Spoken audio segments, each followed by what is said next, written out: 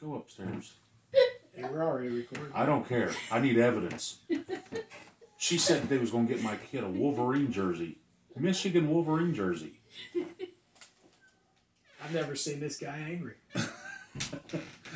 Have we officially started yet? Yeah, we Oh, have. we okay. have. Episode twenty-four of Walking in the Truth. Little uh, We had a little glitch there. There was a there was an obnoxious team from up north mentioned. yeah, we we can't have that. For all you non-Ohio State fans, you might not know, and I won't say, but it's true. The team up north. yeah, TTUN. Yeah, That's all they get. yeah, yeah. I, I know when um, we was working down at the racetrack last week, and of course, I am the only Ohio State fan in our church, I think, and which I don't understand why they hate them, because it's not like WVU and Ohio State's Now, rivals. if I wasn't a Christian, I would say probably they're jealous. well, yeah, could be. But I'm a Christian, so I'm not going to say how jealous they are. That's right. but there was a guy that came out and he he works the track down there, Mm-hmm. and he talked about how he lived in Columbus. I was like, well, I live in used to live in Columbus. I said, it's where I went to school. He's like, Buckeye. And I said, yes, sir. And he went, OH. And I was like, I-O. And he went fist bump me, and I could hear them talking behind my back about these Ohio State fans. I actually had one guy talk tell me one time. He said, "Yeah, it takes two people to spell Ohio." Like, That's all right. At least we can keep a coach. Takes two of us to add up the score too. That's right. we need more than uh, our ten fingers and our ten toes. We need a little bit more than that, but that's all right. We have really stood off the edge here today. We could just blame your wife. Yeah, I'm going to. Okay. Got me, got me all frazzled. Mentioned, Frazzled right as she flicked the camera. mentioned TTUN. That's all right. I tell you what, you take you take a couple weeks off and go to Belize, and then you'll cool off. I'll do that. Cool Well, off in 120 degree temperatures. Yeah, I was going to say in 120 degree temperatures, but uh, we're looking forward to that. And uh, well, when this airs, we'll be back. Yeah. So, but um, So what episode are we on? 24, 24. Okay. 24. I thought that's what it, what it was. Yeah, because yesterday you were the goat, Yeah. Michael Jordan, Yeah. Michael Michael That's Lentz. right. Yeah. and now he threw me today. He's got a blue shirt on. Yeah, I'm, I'm not I mean, normally. he's trying to copy my uniform, well, they but say, I don't have any writing on it. So But didn't they say that uh, that's the form of, biggest form of flattery? They trying to be like you? okay, all right. I, I, I can receive that, but I don't know why. But Well, I'm just happy because you know I bought this a year ago and I haven't been able to wear it until now, and um, breaking out the new threads. I am. I'm getting new clothes tomorrow too. We're going back to our hometown tomorrow. Well, Amen. it'll already be done, but I'm I'm not used to this future episode Yeah. stuff. yeah, we're actually in the future. Yeah. Ooh. So- but uh, yeah. Um. But obviously we'll give updates on the trip later. Yeah, And um, but you got some gave me some great news this just a I while did. ago. It was interesting. Uh, I I've got three of my grandkids. Two two boys. Uh, let's see. One is almost nine. No, he is nine, and the other one's almost eight. And uh, my my granddaughter, who's four, and um, last Sunday in church, they were all, of course, up front with me while during praise and worship, and I, I was just praying in in, in tongues. You know, I'm, I'm we're full gospel Pentecostal, and I was praying in tongues, and my granddaughter looked up at me and she's like, "Grandpa, what are you doing?" Mhm. And I, I explained to her. I said, "Well, I'm praying in the Spirit," and I gave her some scripture, and you know, in that little short interchange. And um, after the service, they all came to me at lunchtime, and they said, uh, "We we we want that." And I was like, "Well, okay, well, we need to talk this week." And I said, "I, I need to. We there's something you have to do first. right. Because I did, I don't, I don't know. You know, I mean, they're my grandkids, but my my my son and daughter-in-law are believers, so you don't know what parents Right. tell their kids. And I know that when we take them back, my wife has to take them back this on Sunday. On Monday, they go to Vacation Bible School. Oh, okay. So you you don't always know what you know what they're exposed to, Mm-hmm. and you know how, if they've already come to that place where they're old enough to understand, Sure. And their heart's been touched. So uh, finally, last night, I had been telling my grand my, my the two grandsons. I said, I want you guys to read, I, and me and my wife gave them their, their Bibles, and we said, read Acts chapter one, and Acts chapter two, because just just a little information from Scripture on what we're going to talk about. Sure. So when I sat them down last night, I said, "Okay, I got to ask you guys a question first. I said because there's something that you have to be a believer in Christ before you can receive the gift of the Holy Spirit Mhm. in the way that the Book of Acts that you guys read talks about." And I and I started to ask him. I said, "Now you know you know why Jesus died. You know why he came and why he died." Yeah, Grandpa. And then I went through the whole thing, talked about how you you know you open your heart, you, you you repent of your sins, even if you don't think you've had any. You you've got to turn from your past life. 'cause- Sure. And and and both of them looked at me and said, "Grandpa, we already did it." Praise And God. I was like, "Really? Where'd you guys?" Well, we knew about it.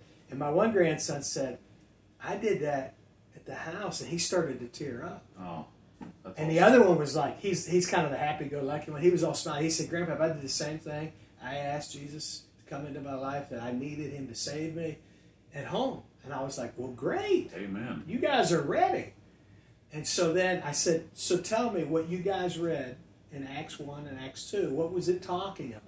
Mm-hmm. And they told me exactly. That's, that's awesome. And and I said, so do you remember what Jesus said? You know, he talked about the uh, you know the times and that. He said, but you know what you need to wait for Mhm. is the promise from Sure. the Father who's going to come. And I said they waited ten days for that to happen. And you know, so so you know they they were all kind of curious. And then I said, did you notice too when Jesus ascended? Those two men that were told the disciples, "What are you looking up in the skies for?" Mm-hmm.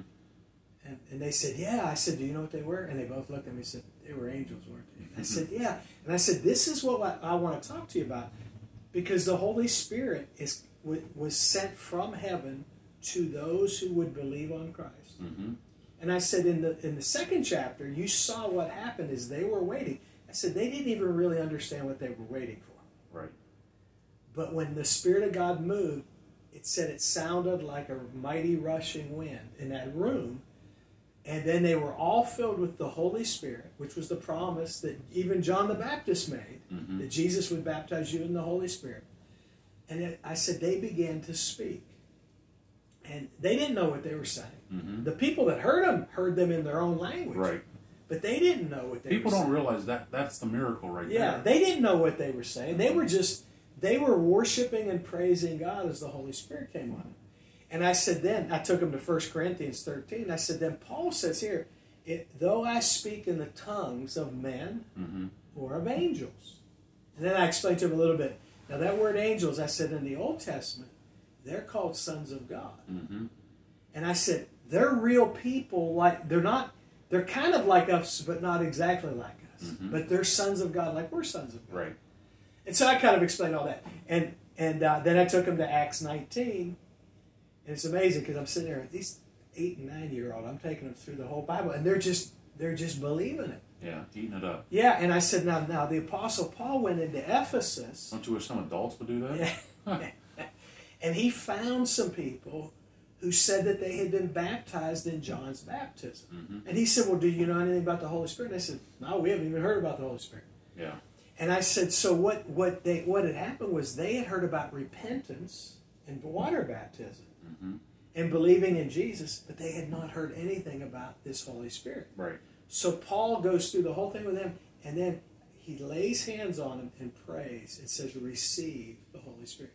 And it says they began to, and my one grandson said, speak in tongues and prophesy. and I said, exactly, because it's the Holy Spirit. Mhm. And then I told them a story about me. Okay. Because I'm their grandfather, you know. Told them what happened to me. And I said, so I'm just going to lay my hands on your head and pray over you like Paul did. And the Holy Spirit, when I lay my hand on you, just just receive the Holy Spirit. Mm-hmm. And then I said, now, Paul Paul goes on and talks about when you pray in tongues, you don't understand what you're saying. Because I and I asked both of them. It's kind of funny. I said, so when you guys talk like to me, and you're you're just telling me something, where's the thoughts coming from? And they said, my our head. Mm-hmm. And I said, right. I said these these words won't come from your head Yeah. because you won't understand it. But you have to trust that God's Spirit has given it to you. Mm-hmm. And so they said, okay. So I laid hands on both of them and prayed over them. And uh, the younger one, he just started praying in tongues. Mm-hmm. And he said, Grandpa, is that is that right? And I said, Well, let me ask you. Is it coming from your head? Right. No, it's it's like I can feel it's coming from here. Mhm. And I said, Well, that's what the Bible described, wasn't it? He said, Yeah. The other one started crying a little bit because he's a little bit more of a thinker. Mhm. And I, I told the younger one, I said, Why don't you go up and tell Grandma? And I said, Me and me and me and your brother will pray some more. So I just said, just relax. It's not about you. It's not about your understanding. I said, just just receive what the Holy Spirit's telling you. Just be at peace. Prayed over him again, and he started praying. He was like, Grandpa, that came from here. I, I don't know what I'm saying. He said, Will I ever know what I'm saying? I mean, kids ask the most awesome questions. I said, Well, that's funny you said that because Paul said that when you, you don't you don't understand what you pray, but you can ask for the interpretation. Mm-hmm. And I said, that's what's called tongues with the interpretation. Interpretation will be in your own language that you understand. Yeah. I told him a few things that have happened to me in the past. Sure. And he was like, wow, that really happened? I said, yeah, it really happened. You know, I told him a story about one time I was praying. I was getting ready to preach in front of a group of about, you know, a thousand people at the conference. Mm-hmm. And I said, I just started praying in tongues at the beginning of the meeting. And then before I knew it, I, I heard, just heard a couple words in English. So as soon as I opened my mouth and started saying it, it just rolled out. Mm-hmm. And I said, there, it was for a man in the front of the, the, the congregation.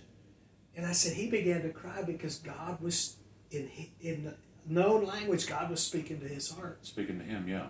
And, and he was like, that, wow, that really happens. And so we just had a great time. And then this morning, my little granddaughter, Mm-hmm. she said, Grandpa, I want what my brothers have. Mhm. And I said, Well, I need to talk to you about the first step. Right. So I explained to her, but she, you know, she's four. She was kind of like, but my daughter got saved when she was three. Sure. And a friend of mine prayed with her, and she started to pray in tongues. Mm-hmm. So, so I, as I'm talking to her, I, I said, okay, you think about what I said. I'll be right back. And I went in the other room, and my wife was at her desk doing bills. Mm-hmm. She heard her two brothers start talking to her about how to accept Christ. Mm-hmm. And they said, we can pray with you right now. That's awesome. Pray with us. And she prayed with them. That's awesome. And then I came back out a few minutes later and she said, Grandpa, Grandpa, guess what? And Chris had already told me. She said, Rowan, Rowan and Howard prayed with me and I accepted Jesus. Praise God. And I was like, Oh, okay, are you ready? She said, Yeah. So then I, I she, and she knew the scriptures in Acts. Mhm. So I- we then prayed for her, and she began to pray. And she looked up at me. She's like, "That's it, isn't it?" I said, "What do you think?" She said, "It's coming from here." And I said, "Well, that's probably it." Yeah. Wow. She said, "Okay." And then she just started praying more. And then when I took them to play putt putt golf, Mm-hmm. and when we pulled in down there, she said, Grandpa, I was praying in tongues all the way from. and she was just doing it real quiet. Yeah. And I said, Do you feel the Bi- do you feel what the Bible says? Do you feel built up? She said, I feel really good. Amen. So and you know, people say, Ah, they're just kids. No, we're just stupid adults. We don't believe Yeah. You know, my prayer today when I was running was, Lord, I want to become as a little kid again. No doubt. How many times the scriptures have said that? exactly, Come as a little child. Because I was just thinking about the whole thing last night and then this Mhm. morning, and then I went for a run this morning, and I was like, Lord, I want to be like a little kid. Well, you know, every year when I teach VBS, and and I did it again this year, I, I always bring up, I said, Have you ever been told that you're too young to do something? Yeah. And they're like, Yeah. And I said, Like what? And I had to laugh because one kid said, Have a beer. And I was like, Good response. Um, but I had to laugh, and it kind of caught me off guard. Yeah. You know, one says drive, one says this, one says vote. And I said, But you got to remember something. You're never, ever too young to accept Christ. Exactly. Never. Exactly. And I said, Don't let anybody tell you that. Yeah. I said, That's between you and the Lord. Yeah. You know, you know, I've had parents like because at our communion, I always tell everybody, if you're a Christian, Mm-hmm. you are free to take communion. If you're not a Christian, you are free to become one, Right. and then you can take communion. right. But I especially tell some of the parents because I've I've had instances with parents in the past Well, my kid's too young. Okay, well, what are you doing Yeah. to educate your kid? Right. Because it's better to let them know when they're young Right. what it's all about Educate them. so that they can receive Christ at a younger age Right. And receive everything He's done for them. Yeah, because anytime someone gets saved at an older age, what is the same thing they always say? I wish I'd have done this sooner. Exactly. And not only that, you have other things that you've already experienced Yeah. that you may have avoided. Yeah, and it's manipulated how you see things, Exactly. how you feel about things, Exactly. and uh, could have avoided a lot of stuff. Yeah. So I always tell our parents, I said, look, we your kids are free to take communion with with the rest of us Mm-hmm. if you feel comfortable with it. Right. But don't expect the Sunday schools to be the primary teachers of your children. Absolutely. You need to be the primary teachers of your children. I remember saying that in a sermon one time, and it kind of caught people off guard. Yeah. I said, It is not my job to teach your kids about Jesus. Exactly. Exactly. I said, That's your job. I remember years ago, I had I had an individual that got upset that uh, and they were from another church, but they asked me the question. Mm-hmm. You know, what do you, what do you think of a youth pastor that you know, and somebody in his youth group got pregnant? I said, I wouldn't think of the youth pastor. Right. That's the parents' responsibility. Absolutely. It's not. It's not even the pastor's responsibility. That's right. We're like second, third, fourth level. Yeah. You're you're as a parent, you're on the front lines. That's right. You need to show the way. You need to instruct in the way, Mm-hmm. and you need to lead the way. That's right. In every aspect of Yeah, and I know it's hard, and and but that's that's not why you go to church. That's you know, if we are blessed enough to keep this child, I mean that'd be like me. Of course, I guess it kind of falls in since I'm the pastor there, but that'd be like me saying, you know, it's your responsibility, you know, for teachers or what. No, it's my job. Yeah, It's my wife's job. yeah, That's what. That's our job. yeah, Uh, to to raise up. That's why the scripture says raise up a child in a way, yeah, and that's why it's the only uh, commandment with promise. yeah. And I think too, a lot of parents, you know, they get in fear, you know, and I always have to tell them, look, the Bible says train up a child in the way he should go, Right. and when he's not going that way, Mm-hmm. you keep believing God. Yep. Don't get discouraged. Well, I raised him right. Why is he acting like that? Because he has free will. That's right. They've got their choice. And you, you at one point, but if you've done everything you could do, Mm-hmm. possibly, and that, no, but no, no parent's perfect. No, no, no. But you have to trust that God's got it covered. If Yeah. there's seeds planted there, if there's a good example planted there, you've got to trust that God, no matter what rough patch they might be going through, God can bring all things. Absolutely. And you've got to stay at peace. And parents don't need to be beating themselves up either. No, no. Um, because I've We live in the day and the age of blaming everybody. absolutely. we've got to take responsibility for Yeah. ourselves. Yeah. And and the thing is, is I've got a couple people in my church right now, and they've got kids and grandkids that are haven't been to church in years. Right. And they said, "Well, no, no, it's not your fault. Stop that." And it's not an unusual situation right No, now. no, it's, it's a not. very common. Unfortunately, it's a very common situation It is. right now. So, and they said, "Well, what do we need to do?" I said, "Keep living your life, keep praying, keep act, uh, acting like the Lord. I mean, keep doing that, and, Yeah. and you know that's all you can do. Yeah. You can't force someone to do something. No, no. And I know how tough it is. I mean, there's so many influences, Oh yeah, and you don't want to be. my wife asked. We were talking about this the other day. She said, "You know, I don't want to be Grandma No." and I said, "I don't care right. if I'm Grandpa No, Yeah, as long as the no is the right thing." that's right. You I know, said because we have to put up, we have to look out for them, hmm even if it's not a popular thing. People need to remember, and of course, I'm very new at this. It was a, it's been a month that we've had this kid, and they don't need you to be their best friend. No. They need you to be a parent. Yeah. And you know, as you get older, I'm sure. I I know you're good friends with your, your daughter and your Yeah. son. Yeah. I mean now, Yeah. but uh, growing up, I mean, you had to, Yeah. you had to And them. you know, you know what? Still, which you know, I'm blessed by this. Even though they're adults, even though they have their own family, Mhm. There are certain things that they will come to me and say, "Dad, what do you think about Right. this?" That's huge. Yeah, and it's like you know they don't have to do that in one sense because they're they have their own families. Right. But just the fact that they're asking me Mm-hmm. is a big deal. I mean, something was done yeah, right. yeah, and it's like okay, And you know, and like when I was talking to my grandkids, I the one section of scripture where uh, it was when the angel and the two angels came down with you know the Lord to meet with Abraham about Sodom and Gomorrah, and they were walking. The four of them were walking, Yeah. and the Lord said, "I can't keep from Abraham what what's going on, Mhm. because I know he will command his children and his children's children." Right. And I, that always caught me. It's like that impresses God if you, as a father and a grandfather, will talk to your kids Mhm. about the things of God. And you know, now it's like, wow, it's happening to me on on the second level now. Yeah. It's like, Lord, thank you. Well, and I know it's like every time we've said this before, but every night we lay him in his crib, and um, of course, obviously he's asleep, but um, we pray over him, and um, every time I pray over him, I know for sure I'm like, Lord, this is your child. Right. I said, you've just entrusted us with him right now. I said, so one, I, I, I pray for me and my wife to do the right thing by him, Mm-hmm.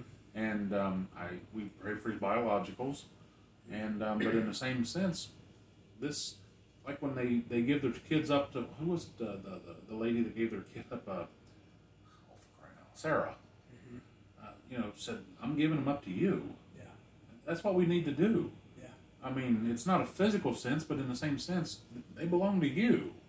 And And while we're training them, we need to remember that too. that's right, because, you know, like we mentioned last week's episode, even though I don't have a good relationship with my father, I did not want to bring reproach to his name, exactly. and I don't want to have, I don't want this child to necessarily bring reproach. And I don't necessarily care about my name, but I, I do, but I don't want to bring reproach to the Lord's name. Right. That's the thing, Right. and uh, we're going to try to teach him as best as we possibly can. Yeah, and you That's what we pray, and you pray, and you do. Right. And uh, you know, I, I always told my wife, I said, you know what, the best thing we can do is be true in our actions Mhm. at home Right. that we preach publicly. Right. And that doesn't mean you have to be perfect, because I am far from being perfect. Well, that's that's okay. But it just means, you know what? As far as you can be, let your yes be yes Mm-hmm. on God's side and your no be no on God's side. Well, and I think the greatest compliment that I've seen towards you was it was it your son that was called a PK, and of course he had no clue what that was. no idea what a preacher's kid was. You know, but in the same instance, he said he acts the same way no matter where we go, Yeah. and that's how you avoid hypocrisy. Yeah. You know, I mean, yeah, people see us just oohing and ahhing over him in church and love, but you know what? We do the same thing here Yeah. when there's nobody around. Yeah. That's the way we do. Yeah. But we're not perfect. Yeah. So And I mean, ev- it even goes as far as, you know, somebody sees you get angry. Okay, well, be angry, but don't sin. right. Well, what's that mean? I thought anger was a sin. Well, if you get angry, you know, be quick to repent. Yeah. Be quick to ask for forgiveness. Yeah. You know, and if you've offended somebody, and I know some people get offended about everything, Oh yeah. and I think sometimes you don't have to. You don't have to go to somebody you offended because it's like, well, they'll get offended when I say sorry too. Yeah. Well, and like I mentioned in last week's episode, the thing happened to me because, you know, most preachers can get in about any jail Yeah. just to go visit, Yeah. even though they don't know the people. And I had that, I had a little bit of anger because I'm sitting there, how in the world can you do this and give up a child? But then I'm like, and immediately it's like the Holy Spirit said, stupid, Yeah. settle down. Yeah. And that's what I'm, I'm thankful for the Holy Spirit in that respect, too. Amen. Because Amen. uh, do you remember uh, what was the coach? He's he's a big time Christian. He Used to coach the uh, Colts and the Buccaneers. Tony Dungy. Tony Dungy, and uh, he said the main thing that I always tell people said before you hit that send button when you're texting, erase it. Yeah. Erase it every time. Yeah. He said because you're going to say something stupid, and you can't take it back. Yeah. And um, that's we can learn from that. Yeah. And I think the Holy Spirit does that to do it. Don't send that. Yeah. Erase it. Yeah. So Cool off. yeah, you have to. Because when you start, when you step back from a lot of things, you're like, wow. Why did I get mad over that? I was that, that riled up over something so stupid. Yeah. Yeah, you were. But it's an instant reaction a lot of times. And I, I still remember, and you know, your high school had rivals too, and I remember when we played our rival, and we just hated each other. I look back now, and I'm like, that is so stupid. Some of the stuff we did to each other, it's Yeah. stupid. Yeah. But we, we grow, we hope. Yeah. So I mean, that's that's the world. yeah, It really is the world. but you're right. Uh, people get offended over everything. And um, what was it someone put on Facebook the other day? It was just a picture of a fence post, and it says, "Here's proof that this post will offend somebody." and it, it, it's sad that people get offended over everything. Yeah. Well, you know, we live in an age of whining right now. Yeah, So, and participation trophies. Yeah. And uh, what was it? Someone said that one time someone got upset and they said, "Do you need a counselor and a blanket, or are you okay?" I actually heard someone tell that to their kid, Yeah. and I, I laughed Yeah. because it was funny because it's true.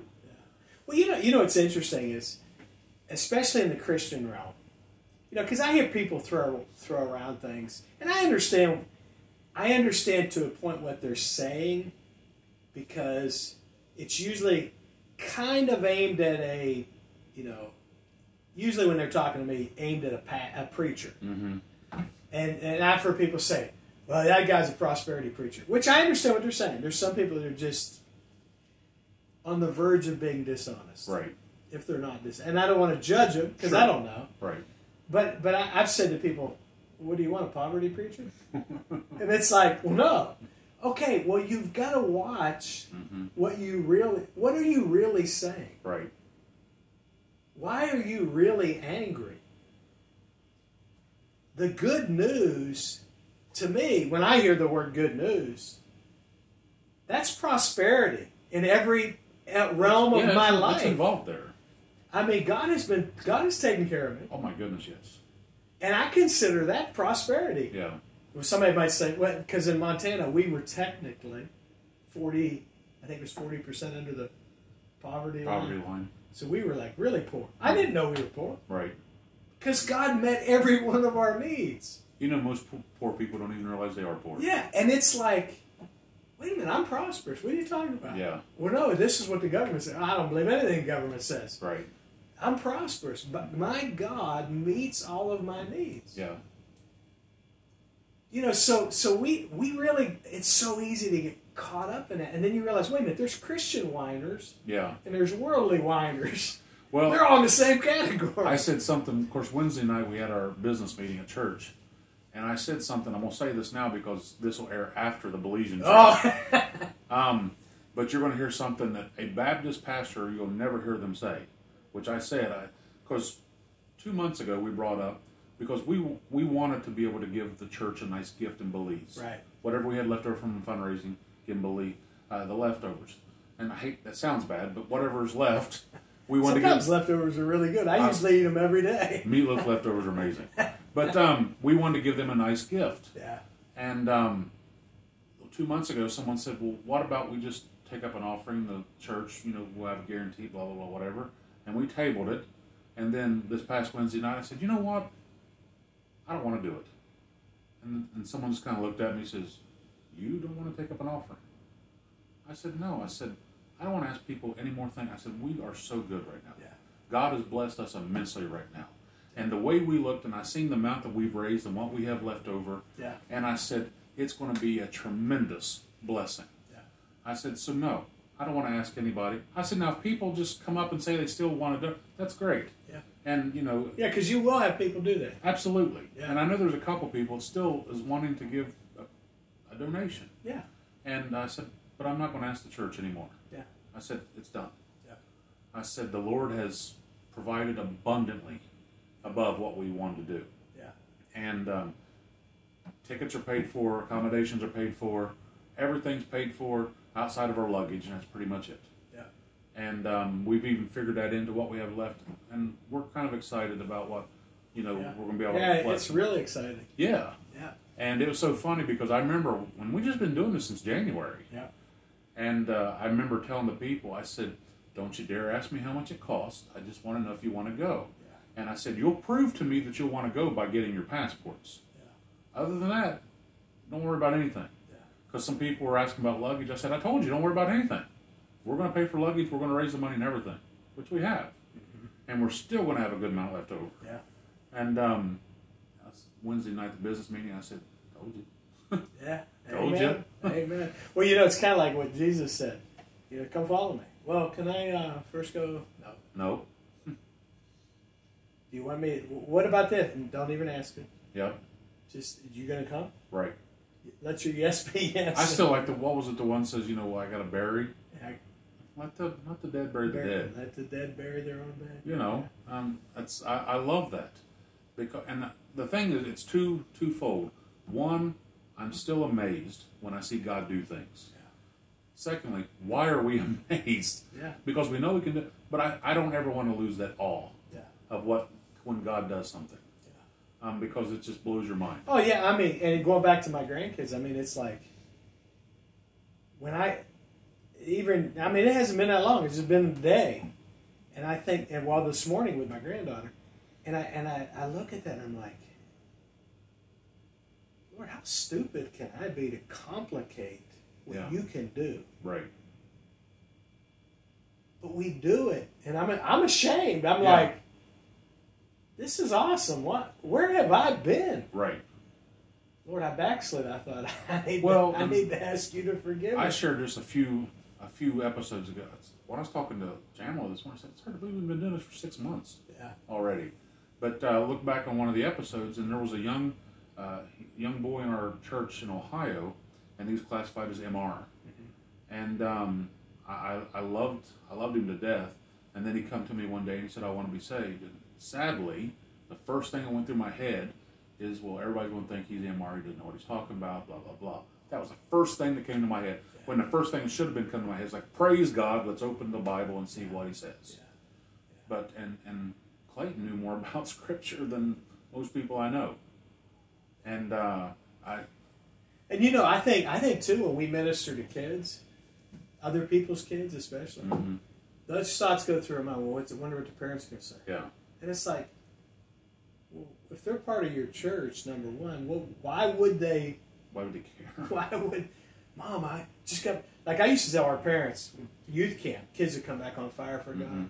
and I'd beg our parents, please don't put the fire out. Right, because God's going to touch their lives.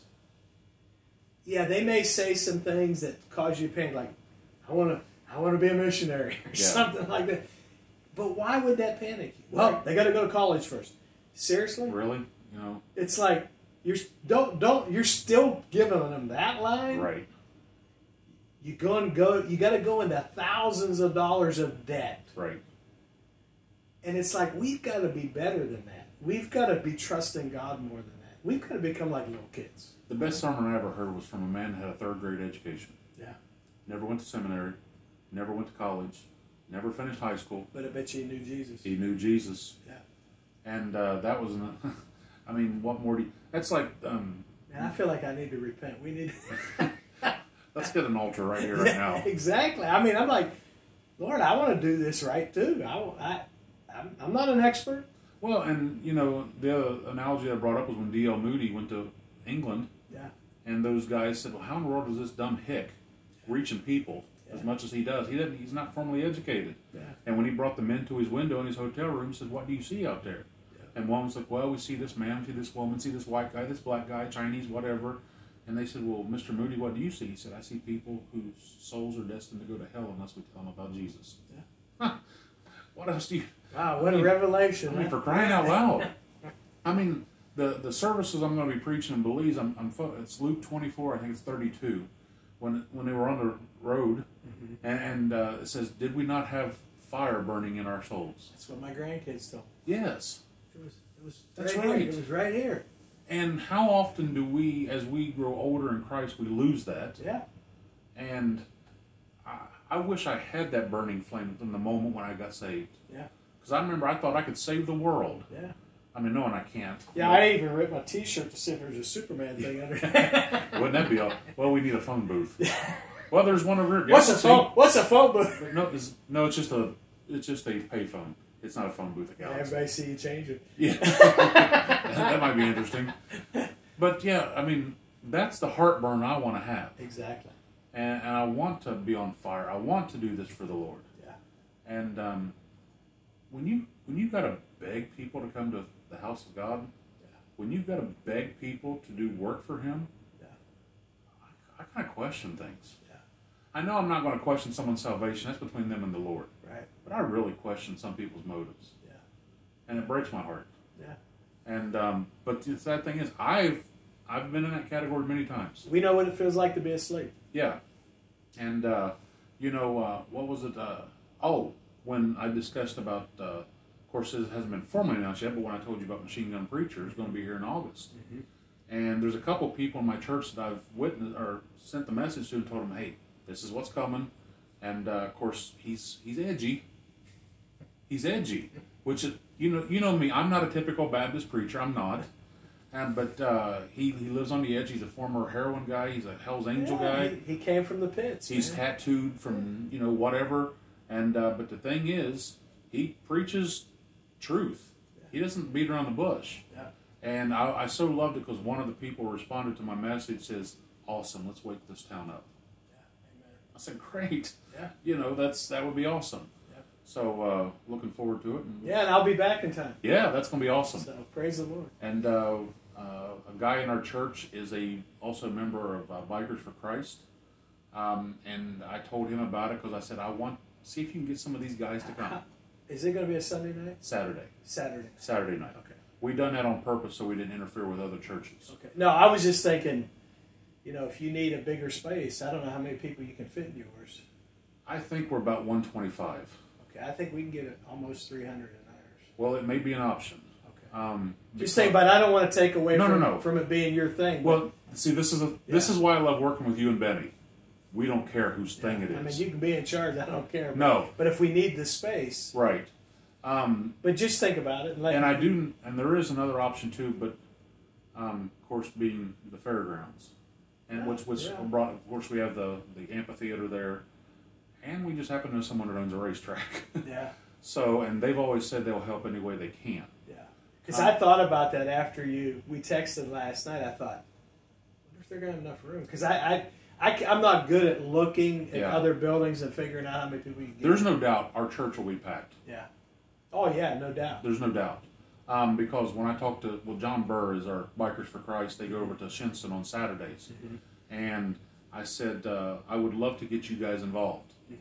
And uh, he messaged me back. He said, Well, I couldn't get one of the Bikers Christ involved. He said, I got two of them. so their chapter from Shinnston's coming, and we got a chapter from Pennsylvania Oh, coming. praise God. and that's Steele, Pennsylvania, I think is what the name of it was. Um, but uh, they're coming. So, because I didn't want to infringe on, because their service is on Saturday nights. Yeah. And I said, I don't want to infringe on you guys either. Right. And uh, he said, I've got a feeling they'll want to just come on over. Yeah. I was like, okay. Because, I mean, he, he's a biker. Yeah. That's, that's what Machine, that's Sam Childers is a biker. Yeah.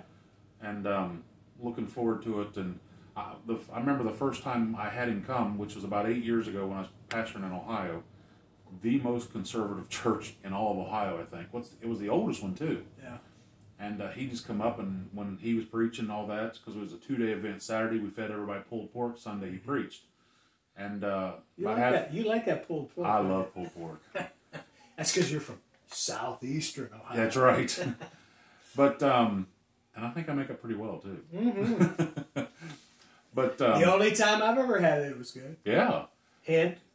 you trying to tell me something? I've got a couple more pork butts out in the freezer. So, You But- call it a pork butt. but um, he he in the middle of his sermon he says, you know what? He said, I'm not a typical missionary. He said, there's going to be missionaries coming here. We'll never mention money. He said, but we need money. Yeah. We need help. Yeah, and it gets back to what we said earlier. You know, well, prosperity preachers. Yeah. No, the truth is, usually people that bring that kind of stuff up, they don't really give, Right. and it's like you gotta be you gotta be doing the work of the kingdom, Mm-hmm. and that means you gotta be ready at any time for God to say, "Hey, okay, you need to help that person, Right. or you need to give in that situation." Well, there was a scripture. It's in the gospel somewhere. I can't remember where, where it is. Do you know the reason we work? So we can help other people. Exactly. That's why we are. That's why we're blessed to work, make money, have jobs, so we can help other people. Exactly. And you know, the truth is, if you, and this is not a worldly saying, this is a biblical saying. If you help other people, Yeah. God will always make sure you get help.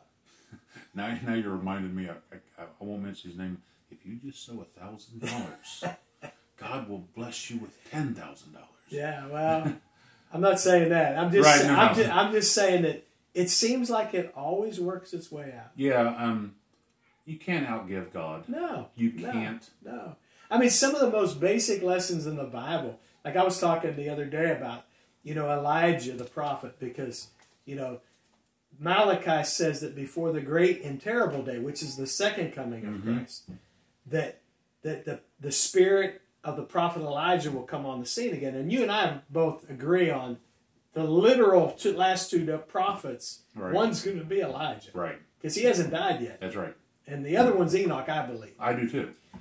But but there's a spirit of Elijah too, and I believe that that spirit of Elijah you can see in Elijah's life. I believe it's going to come on the church. hmm And part of that spirit of Elijah was Elijah was led by God, and he was not ashamed to obey. Yeah. He went to a widow, Right. and she he said, "What are you doing?" Because God had told him, "I talked to a widow over here in Zarephath. It's, it was a non-Israelite city too." hmm So, so he already knew God talked to somebody here. So he sees this widow and he says, "What are you doing?" Hmm I'm gathering up some sticks. I got a little bit of meal. I'm gonna make our last meal, Make me a cake. and we're gonna die. Well, give give me some first. Yeah. But she did it, That's right. and what did God do? Blessed her tremendously. Yeah, till the end of the famine. Yeah. Because God told Elijah, "This is what I'll do. There's a widow there, and I'm going to take care of you through her, but I'm going to take care of her through you." Right. Well, it's like someone brought up to me, and you mentioned about Elijah and the two witnesses, things like that. Someone said, "What makes in the world makes you think it's Elijah?" I said, "Well, there's a there's one verse in particular Yeah. that if we disagree with that, it's going to make God a liar." So what do you mean? It said, "It is appointed for once for men to die, Yeah. and then after this the judgment." Yeah. He never died. Yeah.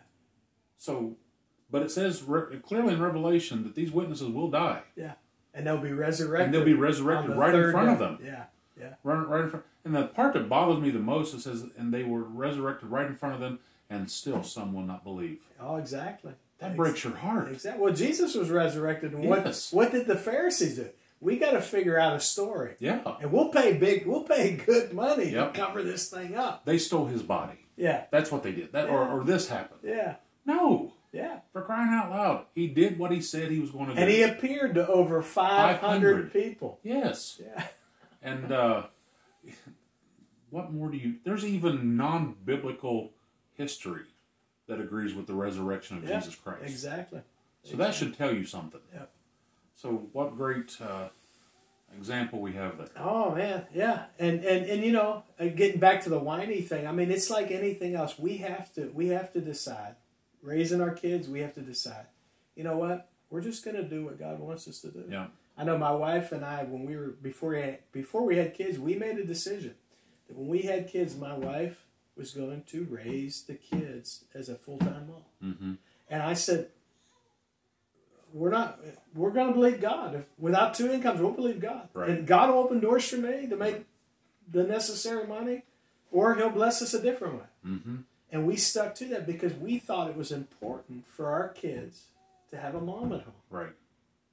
And you know, I'm, I'm not trying to put guilt on anybody else, Mm-hmm. but you have to you have to wrestle those issues yourself And they're tough. to find out what God is telling you as an individual and as a couple or whatever. Mm-hmm. What do you, what do you, what are you going to do? Well, you know, it was proposed to me not too long ago, and of course, talking about the boy, and uh, they said, well, and of course, they automatically brought it up. Says, well, what about sports? So what about him? I said he may never even step foot in a on a field. Yeah, I said I don't care what it is. If he wants to play sports, if he wants to be in the band, if he wants to do cross country, whatever, I don't care. I'm going to support him, but Yeah.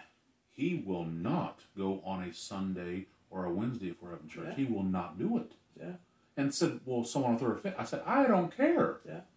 That's my child." I used to tell parents, when, especially when my kids played, look, just stand up. Mm-hmm. And I said, if your kid's really good, any coach is going to bow down and, Right. and listen to you. Absolutely, But you got to say something, or they will run over you, especially if they're not Christians. because it's going on a lot. Yeah, I mean, fortunately, when I coached, there was a lot of Christians coaching, Mm-hmm.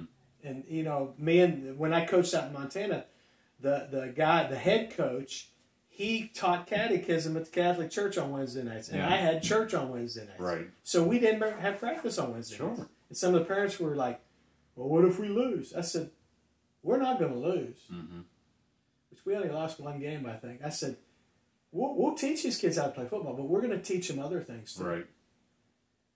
There's a lot more. Teach them more important things. I mean, sp- I think I think sports affected me. I think overall in a positive way. Sure. And- But but like our coaches, you know, my head football coach was played for Woody Hayes, hmm and and he taught us ethics. Right. I don't know if some coaches teach kids ethics anymore. There's But a few, co- but not many. Our coach taught us hard work hmm and ethics. And yeah, we wanted to win, but if you lost, he taught you not to enjoy the loss. Yeah. He taught you how to learn a Learn lesson from from yeah. the loss. I actually had a kid here tell me that he was taught that if he has the opportunity to destroy someone's knee to do it, Yeah, see, that's not right. that is that's not sports. no, no, you. Now I'm just as I'm as much as getting that headbanger hit. Yeah, but you got to you got to be play within the rules. That's right. You, know, do. you don't twist ankles when you're in the pile No. up. You don't bite. I had people bite me before, and and it's like told, we were never taught. I told you I was stabbed in a football scrum. it's like a three inch blade, right in the ribs. but it was messed up. But the sad thing is, I responded in a wrong way too, because I took the guy's knee up. Yeah. You know, obviously I wasn't a Christian then, Yeah, but I look back now and I was like that was so stupid. yeah, Yeah, because it's it's just a game. It's it's You it can is. learn from it life principles. Yeah, and you know, my cousin, I love him to death. His name's Steve. Um, he has gone down a wrong path because he is a TTUN fan, and I don't understand him in that respect. But I love him to death. Yeah. Um, and when we razz each other all the time, don't get me wrong, and he's had the advantage the past couple years, but when it comes down to it, I still love him because he's my cousin. Yeah. And it's it's hard to say this is even an Ohio State fan. It's just a game. Yeah. Yeah. As much as I get up for that game, it's just a game. Yeah. And I'm my my life is not going to, you know, get any better, or any worse over that game. Yeah. And see, when you let stuff like that affect you as a believer, it's kind of like as a Christian parent, Mm-hmm. if you let peer pressure, because we always think peer pressure is on the kids. Right. Oh, man, there's more peer pressure on adults On the parents, yeah. And I'm like, just stand up. Mhm. Stand on what you believe. Well, then the question comes, what do you believe? Right. You may not believe anything. Exactly. So you really got to search your heart. Mm-hmm. And and you know, I mean, I grew up in the '70s and '80s. You know, I was in high school, graduated in '79. So I mean, there was a lot of bad influence going on, and we weren't even as aware of it as much as we are now. Right. And it's worse now, Right. but we're more aware now than we Mhm. were before. And and as a Christian, it's like, man, you know what? We've got to stick to what God says, His plan. no matter what, Mm-hmm. because we know it's true. Right. And if you waver in that, maybe you're not believing in the plan in the first place. Exactly, and that's that's where you know I think that's a good place to be Mm-hmm. because it's where you can check your heart out. Yeah. You know, like like I love teaching on the resurrection Mm-hmm. because some Christians are embarrassed of the resurrection, Wow. and it's Yeah. like, well, that's not magic. It's not fairy tales. It's not. It's real, and it really happened. It's a miracle. It didn't happen in a spirit world. Right. I believe there's a spirit world. Sure. It's an unseen realm. We talked about it in our last uh, thing about supernatural Yeah. stuff happening. There's stuff that happens. It's dark too, Right. but that's the basis of everything for us. Yeah, because if we don't have the resurrection, the We're rest of it means nothing. nothing. Yeah, he died physically. He descended, Mm-hmm. And on the third day he was resurrected physically. Amen. And he says, "I'm coming back physically." Yep. And when you get your new body, it's going to be new, flesh and bone, physical and spirit. That's right. What can't you believe in? Yeah. There, and like we said, there's there's biblical evidence, there's physical evidence, there's even non-biblical evidence. Exactly. Yeah. And what more do you need? Yeah. And so when we then try to live our lives like, well, this is my Christian, Christian. This is what I do when I'm in church. Mm-hmm. But when I'm out here, I lie, I cheat, Right. I I, I don't have any morals. We need to we need to get balanced again. Yeah, because if we act, well, it shouldn't be an act for one thing. Yeah, It should be just a way of life. exactly. If our way of life outside of the four walls of that building is like it is in the four walls inside the building, you'd be all right. Yeah, Because that's that's the way we should be. exactly. We should not be wavering just because we're in a certain or surrounded by people. There's even a question on there that says, you know, they're a new Christian, and should they be hanging around with their old crowd? That's something you got to really decide. Yeah, and, and you you know I, what happened to me was I immediately because I, worked in a steel mill. Mm-hmm. I immediately began to began to witness, share the gospel. What happened to me? Not I didn't know much, Mhm. but I knew what happened to me. I knew I had met Christ, and I began to share it with all my coworkers. And we had kind of a little revival in in the place where I work. A bunch of my friends got saved because they were asking the same questions as me. Right. You know who gave us the hardest time? Was the people The that were, had been in church. Yeah. They were the ones that gave us the hardest time. Hmm. And then I remember, this is before I was married, I remember one night, because there was this place in South Wheeling that we always went to. It was like the popular, it was like a dance place, you know. Mhm. It was back in the 70s, you know. Disco. It, well, yeah, it was kind of disco, but it disco that and disco that. Oh too, my you know. goodness. Ooh. But but anyways, that's where every, all the young people that I knew hung out. Mhm. So I had stopped going there for a while, and I remember one night a guy at work asked me. He said, "Hey, you want to go?" And I'm not going to name the place; it's not even a business anymore. But he said, "Hey, you want to go over?" And, the Lord spoke to me and said, "You need to go there tonight," Mhm. which shocked me Yeah. because I had just stopped. Right. And I thought, is that you, Lord? You know, because I'm still a young Christian. Right. And I went. And I tell you what, I was I was introduced into what was really going on when I went there. And you were involved in it all along before. And I couldn't see it. And Yeah. I walked in and I saw people that I knew. I saw girls that I knew that were totally blown out of their minds. Mhm. I saw stuff going on and it, it made me it made me sick Yeah. because I thought these people have no idea what's going on to them. Right. And you know, some of them I talk to and they listen, and you know, they, they have a walk with God. I, don't, I mean, some of them you lose contact with, Mm-hmm. but when I left that place, I was like, Lord, you rescued me from something. Amen. I just, but some people never leave it, so nothing changes. And some people can't go back to see what it's like because they're afraid they're going to fall. again. Right. But the Lord showed me that, and I was, and I was like, I never saw any that. Well, because I was drunk when I was Right. there. But I mean, it was, it, it made my heart break. Mm-hmm. And I think we need our hearts broken sometimes. Well, and I knew when Jamel and I lived in Vegas, and then we moved back to Ohio. There was a very popular place to go get wings, food, stuff like that, but it was a bar. Mm-hmm. And in Vegas is where we really got rejuvenated with our relationship with the Lord. Yeah. And when we got invited to go down there, our normal friends, stuff like that, and we sat there and we just kind of looked at each other like, this just does not feel that right. didn't feel right. Yeah. No. Yeah. And we never went back. Yeah. And it's not that I was looking down upon the friends that go there, Yeah. but we did not belong there anymore. Exactly. And you knew it inside. Immediately. Yeah. Exactly. And uh, it was just one one of those things. And, and but it's the Holy Spirit just said, "This is not. Look around. This this is what you used to do." Yeah.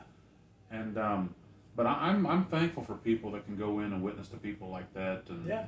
Uh, Yeah, and I think sometimes God may call you to do do it for a short time, hmm but I mean, it's like you just got to be wise. Right. You got you got to know who you are, and you know, like I said, when the Lord took me in there, I knew immediately, this is not a ministry for me. Right. I am not coming back here again, and I never did. Right. I, I just cut it off, and and I lost some friends, Yeah. but I got other friends other places. You know, and sadly, um, most of the friends that I mean, we still converse like on Facebook or something, but the hangout, it just don't happen. We used to, you know, play the poker, Right. You know, the drinking, all that stuff. And it just doesn't interest me anymore. But God brings other people. And, Absolutely. and you know, it's interesting. I just went back. I was at a. It was actually a funeral that I did. It was my mom's funeral, and Mhm. some of my friends came. You know, to show respect to my mom.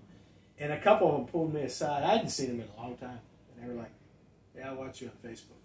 I was like, "Well, praise God." Good, yeah, I said, "What do you think?" They said, eh, we, we, "I enjoy it." yeah, I was like, "Well, just keep watching." right. And then there was a couple of them that, you know, they're believers now, and hmm we just got to talking, and of course we got into some of the other stuff we get into on this program too. And I'm like, oh yeah, you're on the same page as me.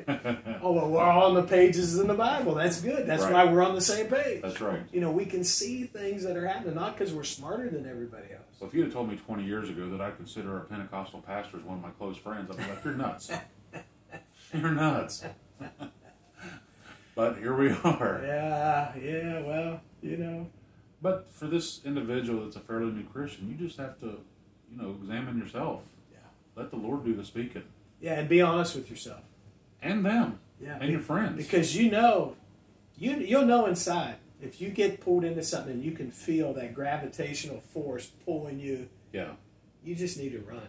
Yeah. And, and don't you know, like it. Joseph, just run. Don't fight it, just go. Yeah, just get out of there and and don't go. Don't desire to go back. No. You know, I was thinking too because you know we, of course, everybody knows that we like you know sports. Some sports better than others. Right. But but you know, it's like with sports too. Like when I watch, because I, I I watch very little NFL, hmm but I watch college football. Mostly Ohio State. If there's another good game on, I may watch it. hmm But you know what? I find myself doing. I'm muted at commercials Yeah. because I don't know. A lot of the commercials are just from certain pharmaceutical companies, Right. and it's like I don't want to even hear that joke. No. And then you know, I mean, I'm here to the other the other stuff too, the pushing of the social. I just mute it and walk out of the room hmm because I don't. I'm not. But it's it's a shame that you have to go through all that just to watch a game. Well, the sad thing is, most of the announcers get muted too. Well, yeah, Oh my goodness. especially when they get into the uh, social events or Yeah. life of the players. It's Right. like ah, Yeah, I just want to watch a game. that's right. You don't need to read lips to watch football, Yeah, I just want. I just want. Sometimes I'll put the game on and I'll listen, like on a, uh, if it's a college game, if it's the college game, hmm I'll listen to some of the local guys Yeah. because they're they're just into the football. That, and that's what it should be. Yeah, yeah. Just just do your job and let's Yeah. just all enjoy. But it's it's again, it's being wise as a serpent. Gentle as a dove, and and and you you got you know you got to meet people where they're at. Remember last week we said about that dove being that bird being the Holy Spirit. Ain't a pigeon. Ain't a pigeon. Which is good because I think the other night when I went to that couple's house, I think I hit one. Oh, did you? It wasn't even a hit, it was a crunch. And it, it's even to the point I looked in the rearview mirror and I felt bad. yeah, What are you going to do? You're driving 55 mile an hour on a back road and something flies at Crunch. you. Yeah, yeah. So- Unfortunately. right under tire, too. Ooh. Yeah, no chance. So, um, how about a, another couple questions? Sure. something? Where we at? Uh, word an hour. We got carried away, didn't we? We did. But it was good. My wife got me flustered. I'm still blaming her. That's all right. We'll pray him through. An old Pentecostal term. We'll pray. we'll pray him through. Here. Pray him through it. Yeah. I think there was even there's a band, uh, an old gospel band called the McKameys. Oh yeah. They had a song, "We'll Pray You Through It." Yeah. I don't know why I remember that, but You know, uh, some of that's more true than what we think, though. yeah, So. it is. Is there parts of the Bible that confuse or stump you, personally? Yeah. If we think that we know everything about the Bible, we're lying. Yeah. I mean, there's all kinds of stuff. There's stuff I read and I'm thinking, wow, wonder wonder if this can be taken this way. Yeah, Because if it can be taken this way, wow, most of the church is missing it. right. And it's written in a way that you could say, hmm, that might be something different than what we think. Could be. Yeah. And we're so terrified to think that way. Yeah, because we want to think within the walls. Yeah, because you know, I think you and I talked about this during the men's meeting before everybody showed up.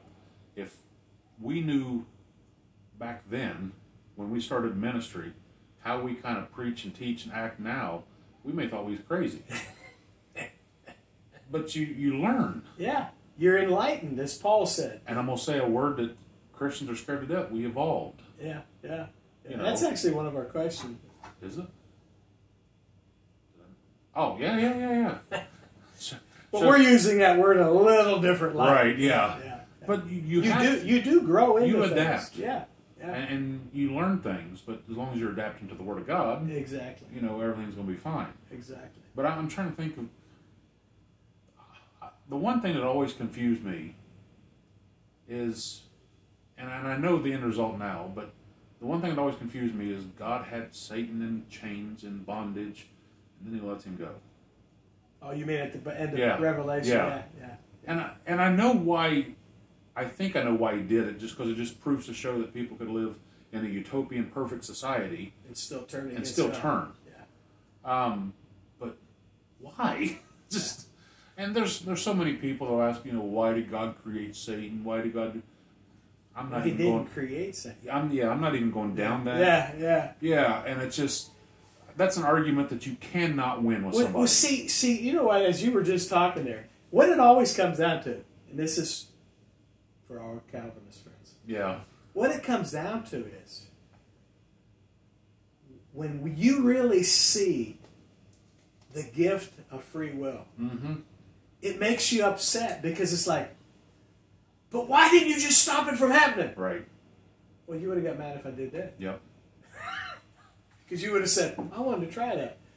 What is it? Danged if you do and danged if you don't. Yeah, and it's like, no, that's how we mature, both as human beings and in our relationship to God. Absolutely. By by our by our free will, what we choose to listen to and obey, Mm-hmm. we learn, even if it's the wrong decision. Right. And Like in the area of like some Christians are afraid when they get confused with Scripture, like you said earlier. But that should be a motivator to find the truth. Yeah, that should you you should want to study more. You should want to learn more. Yeah, yeah. Most people tend to get ticked off and run away. Yeah, I was listening. I was listening to a little video early this morning, and this guy was talking about script, something we've talked about. I've taught on it. Genesis six, you know, the giants, the fallen angels, you know, the sons of God, the uh, you know the cohabitating with the daughters of men Right. and having offspring. You know that whole thing. And and I like the way he presented. He said there's there's four basic theories about what this means. Mm-hmm. And he went down through the first three, and he said, "Now I don't agree with these. I agree more with this, this." And, and I thought some Christians would panic, like, Oh yeah. like, what, what, well, tell me what's what's right. Well, no, these are four very popular, well thought out Mm-hmm. streams. And people will even use scripture to back every Yeah, one of them up. and they're streams, but nobody quite knows the, the full truth yet. Mhm. But there's truth. I think there's truth in all of them yeah. because they get mixed. But we get afraid of the whole subject and we, we, we stick our fingers in our ears and go, nah. Bury our head in the sand. And it's like, no, but there's a truth there that God wants us to see mm-hmm. that will actually help us in the book of Revelation. Yeah. Well, Because they all fits together. yeah. And I don't know why. I think it's just our natural tendency to, we have to know absolute truth. Which the only absolute truth we know is Jesus is King. Yeah. I mean, and what he did on the cross for us and rose from the tomb. But there's a lot of things. I mean, that's why we need to study our Bibles. Exactly. Exactly. Because I'm sure there's things that maybe you've looked at 30 years ago, and I looked at 20, 30 years ago, whatever, and, and I maybe you'd see things a little bit differently. I've never, ever, ever changed my ideas about salvation. No, because Jesus is the center of everything. Yes. I mean, that's an easy one. Like last week, is Jesus really the only way to heaven? Yes. Yeah. Yeah. I mean, that's the easy one. Right. Because it has to be really obvious. You know, like those things that you wonder about when you know when it talks about they Jesus God told uh, these soldiers to go in and kill every man, woman, and child. Yeah. Well, I thought you said he was merciful. Got to read into things. Yeah. You got to see the context of why he did these things, and he's what he's trying to prove. Yeah. Um, why does he allow you know kids to be aborted? Why does he allow kids to die at a, a young age of cancer, or why does he allow a young couple to die in a net? He's not necessarily allowing these things. It's just things that happen. That's right. Because of choices that mankind has been making for Back thousands of years. will. Yeah. Back to that free will. Yeah, because you let a lot of things in. And we got to realize we are in a sin-filled world. Yeah. Yeah, and it's like this. Like we were talking just just a minute ago about important about leaving friends once you start walking with God. Mhm. Okay, think about this. You have an alcoholic. He comes to Christ. He's miraculously renewed, hmm born again. He's living for God. He goes and gets caught up with a bunch of his ex buddies. Yeah. He starts to drink again. Come on, it's just one. Yeah, he goes off the wagon. Why'd God let that happen? Yeah. God didn't let it happen. He made his choice. Well, why God create alcohol? And it's like those those are endless questions. It's a no-win situation Exactly. that argument. You need to look. Well, if that man wouldn't have said yes, he was already rescued. Right. If he wouldn't have said, "Okay, well, I'll just try one," he already knew he shouldn't try one. He knew there was a second one coming. Exactly. So it was his choice. That's right. So what do you want God to violate your choice? Yeah. But but no, I, I make my own choice. Well, Yeah. you just proved our own point. Exactly. And that's what we've got to come to grips with. Yeah, and uh, we can't. We got to stop blaming God for everything. Yeah. And it's it's our choice. Yeah. And like, I'll, I'll read something in the Bible that confused me. Like, it took me years to come out and really say, here's what I believe about Genesis 6. Mm-hmm. I believed it from the first time I saw it because it's like, well, how could you interpret that any, any other Right. way? But I didn't know enough. Mm-hmm. So I just stayed away from it. But I'd find myself going back to it because it was answering other questions. Questions. Yeah. And I was like, these things are hooked. How dare you cross-reference? Yeah, I was like, this is a problem for me, God. These things are hooked. I can't stay on this much longer by itself because it Circles back comes to this. back to this. Yeah. And holy moly. I was going to say something else, but Yeah. I, I'm not ready. I'm not ready to take the heat for this other thing. Yeah. So you just keep going. Well, there's there's even people in the ministry that's scared to say stuff because they think people think they're crazy. Oh yeah, yeah, Well, I mean, you know, you remember the the um, testimony that Rick gave. yeah, You know, he come up to me and I, you know, I, I said, Rick, they need to hear this. I'm talking about the people at our church. So I gave him the pulpit on Sunday. Yeah. And he just gave his testimony and things like this. And he said, people are going to think I'm crazy. I said, so what? You know what you encountered. yeah, And it lines up with Scripture. yeah. So what else do you need? Yeah. You know, I just heard a testimony today from uh, a husband and wife in our church, and the, the husband's battling some stuff. He's an older gentleman. Mhm. He, he loves God. He's believing God for you know miraculous intervention and strength and all that. And his wife, you know, she's worn, a little worn out, but she's believing God too. Mhm. So I called to check up on him, and uh, so they were talking to me, and they said, uh, "We got a testimony." I said, "All right, I want to hear it." And they said the last time we were at this the hospital that they go to, and uh, he was he was going through some some tests and everything, and their nurse came in, Mm-hmm. a young young girl, young young woman, and uh, he the wife was telling me she said, and you know my husband said, so how you know how's your family, you know, and she started crying. Mhm. She said, well me you know we've been trying to get pregnant, and haven't been able to do it, and here he is in for like it's not I mean it's not like a major major thing, but he's been struggling with. it. Sure. He says, "Come here, my wife, pray for you." Mm-hmm. And she started crying, really crying. Right. So they prayed for her. And she said, the nurse said to them, So next time I see you, I'm going to be pregnant? And they said, Yes. Well, long story short, they hadn't seen him. The nurse got the phone number of this couple. And called. And, and this just happened just recently. Called and said, You know, I had this so and so. I, had, I hadn't seen you in a while, but I Mhm. want to let you know I'm 10 weeks pregnant. Wow. That's pretty awesome. And I, and I told I told uh, uh, the wife I said, you see, you guys weren't selfish. Right. You're battling with something right now. We're believing God with you, but you didn't let it make you so selfish Yeah. that you didn't reach out and say, well, God can change that situation for you. And you know, even that nurse looked at them and said, "Look what they're going through, and they're concerned about me." Exactly. That's huge. Exactly. And yet, you know, well, why God answer that prayer? Because He did. They prayed. Yeah. You know, and then people say, well, what about, yeah, but why are we not willing to try? Right. I think, to me, it's all about praying and believing. Yeah. I, I The faith has to be there. open-ended prayers, I, I think they're useless. Well, I mean, Ja- James says, you know, if anyone pray, ask for wisdom, let him ask in faith, nothing Yeah. wavering, because the, the man who wavers will not receive anything. Right. And so I know that's hard for, especially if you're in that situation, Mhm. it's hard for you to believe you.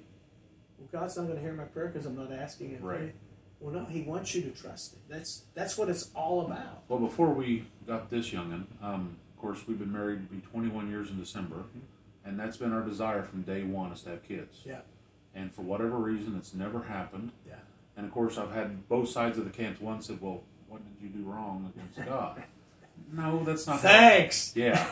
and then on the other hand, well, just keep trying to. Yeah, we do.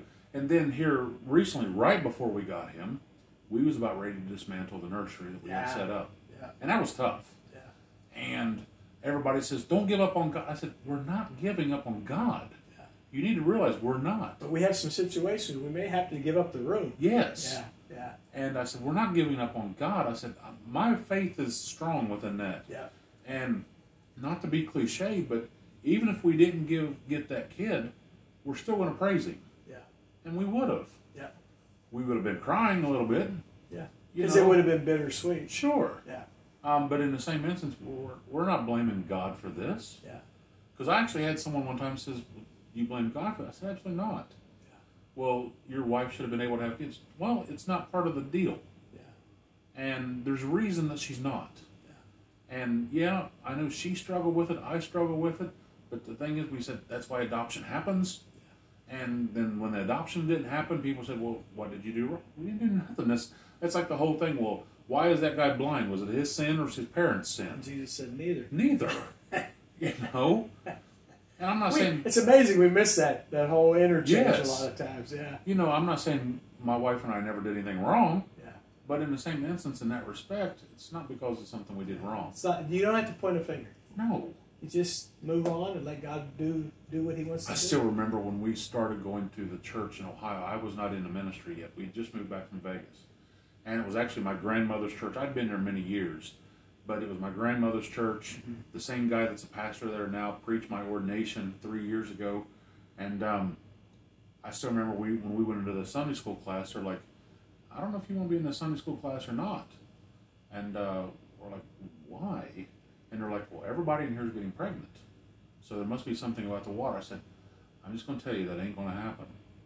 And they're like, Are you trying to say God can't? I said, Well, tell you what, this will be the greatest immaculate reception next to Mary herself. Yeah, And they're like, and then they finally understood why. yeah, And they're like, Oh, we feel so bad. I said, Don't worry about it. Yeah. You know, don't worry about it. yeah, So we, we just got to rely on the Lord no matter what. yeah, yeah. And and you know what? The truth is, God will turn things Mm-hmm. for good, Yeah. and And, you've got to you've got to walk it out. and even like I put on Facebook, I said, Today, it's one month today that our lives changed. Oh, it's been a month It's already. been a month already. wow, Hard to believe. that month went fast. Because that's when we were. I remember when you called me the Yeah, day. Yeah. you were the first person Yeah. we called, Yeah. and um, and I still remember you screaming on the phone Yeah. because I know that, I, and I trust this. I know that you and your wife are praying Yeah, and have been praying for that. yeah, Um, so, that, but yeah, it's hard to believe it's been a month. yeah. That's Already. awesome. Wow. But yeah, to answer your question, there's of course there's stuff that confuses us. Yeah. Just because we're preachers don't mean we. There's a lot of mysteries. Yeah, That's why we're supposed to seek God every day. yeah. I mean, there's things that I'd like to know. I'd like to know what Jesus wrote in the sand. Yeah. And you know what? You know what? When we when we are not seeking the mysteries that Mhm. God willingly wants to reveal, Right. that little child inside of us is dying. It's it's yeah. But it can be revived. Yeah. I shouldn't say dying. I should say it's falling asleep Well, yeah, because that's more that's more s- scriptural, really. yeah. Well, We're fall because we're not going to die no. because we're born again. But, Right. But you can become carnal, Oh, absolutely. and that's falling asleep. Yeah. thinking that this world's real, what the world says, but the world that God says is real is not real. And there's sadly there's some people that think that they're just on fire for the Lord and they're just become carnal. Yeah, exactly. And of course that brings back to some of and to the, some of the prosperity Yeah, preachers out there. Yeah. They've just lost their sight. yeah. And- They, they think prosperity is just a one-dimensional thing, and it's not. It's to be prosperous is to be in relationship with God, who is the creator of all things, Right. who can get you through anything. mm-hmm. And when you're through it, you're much better off on the other side than you've ever been. And there's some of these people that, and I won't name them obviously, but name certain preachers, prosperity preachers, and you can look and at one time they were wonderful preachers. Yeah.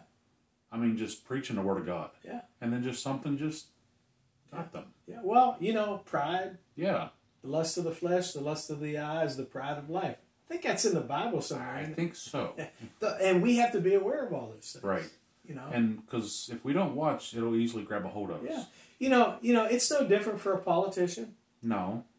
A lot of people start out right, but Right. when they get there, love of the love of the flesh, the love, the lust of the, the world, the lust of things, it Well, if I don't do this, I'm not going to get reelected. Yeah, yeah. You know. Happens to doctors, happens to teachers, happens to coaches, happens to the guy next door. Right. It happens to all of us. That's why we have the scriptures. That's why we have the Holy Spirit. And people need to remember it happens to pastors too. yeah, and Christians need to just stay awake and pray for one another. Right. And that's not the unpardonable sin. People Right. people that get caught up in that can can be turned back. Absolutely. Absolutely. Because there's been so many examples of it. Yeah, yeah. Um, I, I'm still thrilled because it was so funny. I told you about the last time we had Machine Gun Preacher, and Mm-hmm. there was a prostitute in our church um, from Huntington. And I told you that now she's Sunday school teacher. Yeah. Well, the guy that books the Machine Gun Preacher, he's an he's an Australian, Mm-hmm. and he was in Australia last night when I was talking to him. He called me, and uh, of course my wife was like, "Put him on speakerphone. Put him on," because she loves to hear him talk. His name's Kevin. He's a he's a wonderful guy. He actually came to Ohio when he was at our church last time. Yeah. And uh, he said, I, I remember that church. I said, I remember everything well. And I said, Well, I, I need to share something with you. I said, It's of can be uplifting to you as well. I said, There was a lady there that one day, and she gave her life to Christ. She was a mm-hmm. prostitute. He said, I, I remember there was like seven or eight, or I said, Yeah, there, we had seven people give their life to the Lord. And I said, You know, that lady now is teaching Sunday school in her local church in West Virginia. And he's like, Praise God. I mean, he was just happy about that. Amen. Because that's what it's about. Yeah. It's seeing, transformation. yeah, seeing the Lord transform people. Yeah. And how dare we say that someone can't be transformed? Yeah. You tell me God can't do something? Maybe maybe some people say that because they realize I haven't let him transform me. Could be. And that's a choice of the. Maybe they too. feel a little guilty. Yeah, that's our choice too. It is. Because we've been given all things Well, sometimes pertain to life and godliness. Change can be terrifying sometimes. all the time. And um, but you know what? If if you just do like Moses and just step into that water, Yeah. and He's going to provide the way. And and you know what? We've learned it, but every new new opportunity, every Mhm. new step, we're like, what if there's crocodiles in that water? Right. What if there's? We question, Yeah. and, and we need to. All of us, we need to get to the place where we just trust Him. Yeah, that's all we that's all we can do, and it's all we need to do. Yeah. So yeah, that kind of answers that, I would think. Yeah. Um, I think this one I'll ask, and I think our answer will be shorter than our shortest answer last week. Have you ever believed in evolution? No. No. no. And I, w- I was a science nerd. Yeah. I mean, more of a math nerd, but I like science as well. There's never been any proof Yeah. of evolution. Yeah. Darwinian evolution. Darwinian. Yeah. Yeah. Because I mean, things do change Right. and evolve, Yeah, but because not, but not in the sense that. we, we even seen that on Noah's Ark. Yeah. I mean, people always ask, well, how do they get 3,000 kinds of dogs? Well, they didn't. They had one kind of dog, and it was most likely a wolf. Yeah. And, as, and, and science proves this. As you keep breeding and breeding and breeding, they lose DNA, and it changes DNA. Exactly. But that's not Darwinian evolution. Right. Um, And, and the reason they lose DNA is because of the fall. right. Absolutely. well, mean- have you I mean, we're getting our genetic makeup's getting weaker and weaker Yeah. because of de- decay. Have you ever heard of a, a man that he's a he's one of these that apologetics that he debates all the time. His name's Kent Hovind, Mhm. Um, Kent Hovind brought up a very good point one time. He says, when I was brought into a debate, he said they wanted me to bring in 20 questions and the other gentleman to bring in 20 questions, and they would decide which one they're going to ask. So he said the odd thing was they never asked any of the questions that I proposed. And one of them was great. He said, you know, just think of a termite. He said, what do termites feed on? Wood.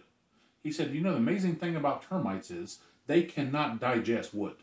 He said, so there's a tiny, tiny individual uh, thing that, that lives within them that digests the wood for them. And he says, if the, the thing, the microorganism cannot live without the termite, the termite cannot live without the microorganism. Which one evolved first?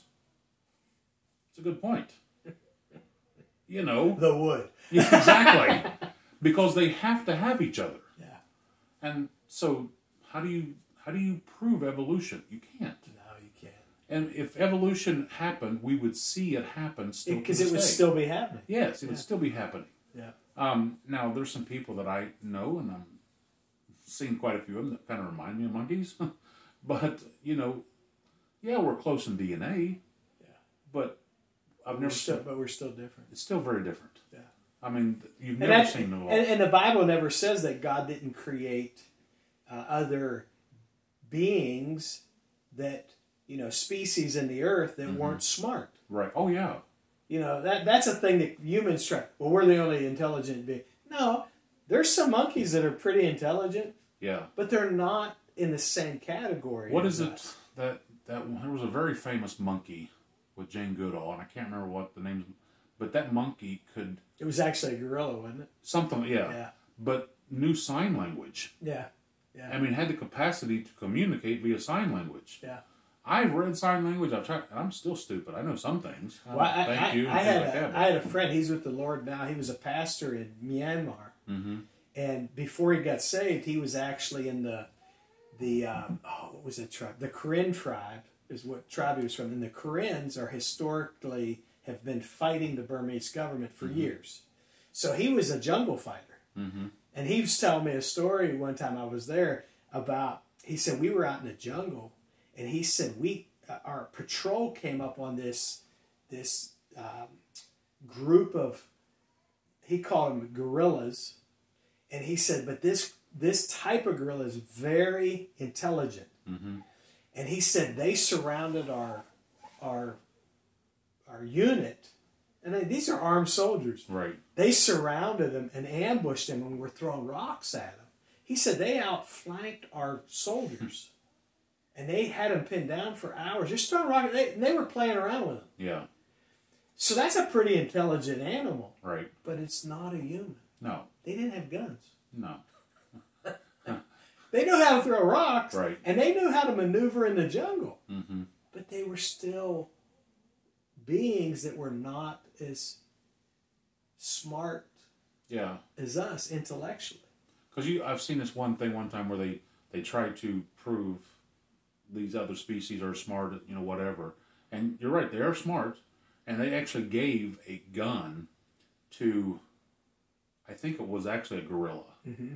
But the gorilla did not know how to shoot it. You know what the gorilla did? He got the gun, used it, and started beating. I mean, Well, I, I heard a guy talk one time. He said, he said, look, if we were able to go back, you know, to like the Stone Age hmm and drop a fully functional motorcycle in the middle of a tribe, hmm he said they would figure out how to use it, but they wouldn't know how it worked. right, And when it ran out of gasoline, or they wouldn't know how to. They they did not have the capabilities of figuring out how to do the whole process to put the whole thing together. hmm And he said because you just don't come up with that stuff, right, and that's where you know technology is given, hmm and God gives us certain things at certain times as as as, as beings, as Right. human beings, and we see that, and we also see from Scripture that fallen beings also gave technology. sure, and it developed on the sinful side of it. right, So there's always a, a cause and effect. It's not like we're just out here floating around evolving on our own. right. We're not. There's other influences. hmm And well, I mean, that could be environmental. Exactly. It could be financial. I mean, there's all kinds of things. All kinds of things that happen that we have to adapt to. And uh, Christians don't need to be scared of the word evolution. No, no. Now, there's a difference between evolution and Darwinian evolution. Exactly. So, I mean, I believe that things evolve. Yeah. Darwinian evolution has been covering up things that the Bible said were true. Right. Giants, Yeah. other species. I mean, because it doesn't fit their narrative. And even Charles Darwin himself said, you know, if I'm proven wrong, I will admit I'm wrong. But he died first. Yeah. So, but it's been disproven so many he times. really found out how wrong he was. Yeah. Sad, sad Sadly true. say. Sad but true. Yeah. But no, I, I, I think we both agree that neither one of us have ever believed in evolution. No. Even before being a believer, I never, never even had a thought of it. The Now, when I was a sinner, I have acted like a baboon before, I still do from time to time, from what I'm told. Uh, but you know, the funny thing is, of course, you know, in America they do teach evolution in schools yeah, uh, for the most part. as a fact. And yeah, in Belize you can't. Really? You're taught the literal six-day account of creation, Wow. public and private schools. Wow. That's what they're taught.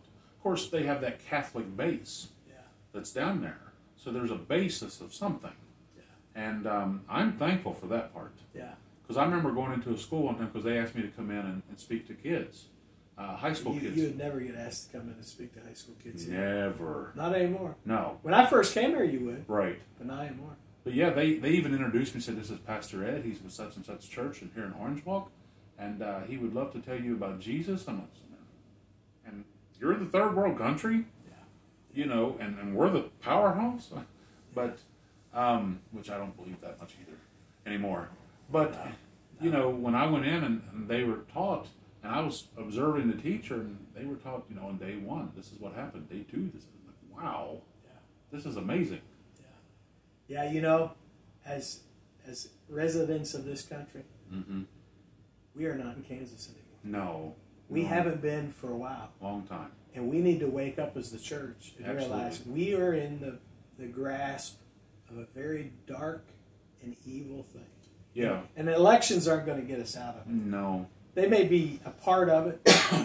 we got to remember. we have to get people that love God, that have a heart for, for the, the kingdom of God, standing up and, and doing the things we need to do. right, we've got to get back to back to Christ. Serving God. Yeah, Yeah. that's it. Yeah. So that's uh, evolution. How about another one? It's kind of it's a legalistic issue. And I believe it's strictly illegal. It's not even biblical. And I'm not being disrespectful. That's not what I mean. Does it matter if you use grape juice or wine for communion? No. No. It just says, "Do this in honor of me." If you want to be biblical, use wine. Yeah, I mean, we don't at our church, but it's not because I Right. think it's right or wrong. I just there's other issues that can come up. yeah, and we don't either.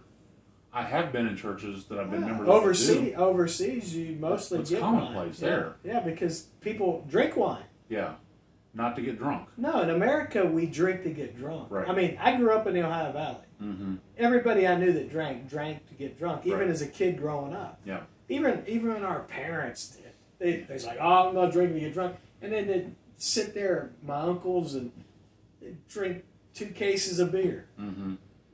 You were tipsy. yeah. I don't care how big a boy you are. Yeah. And and it's like, okay, come on. Well, you know, how, how do you respond to the arguments of, well, you, what if you're serving wine and someone's had an alcohol problem? I understand that. You know, You know, I know some churches that give choices. yeah, You know, here's the wine line. Hey, wait a minute, you're getting back that wine line for the third time. I, I've got a kind of joke. I mean, I won't say her name, but it was hilarious. I told you that what happened when I served, when I went to Valerie's house and served her communion before she passed, and the little pre-made things that kind of fermented, Yeah. and they were strong. and uh, this last communion, this lady at church, she's a hoot, and she's like, Pastor, I'm just going to tell you something. If you just happen to run out of the sacraments, I'll take those that you got in the pulpit.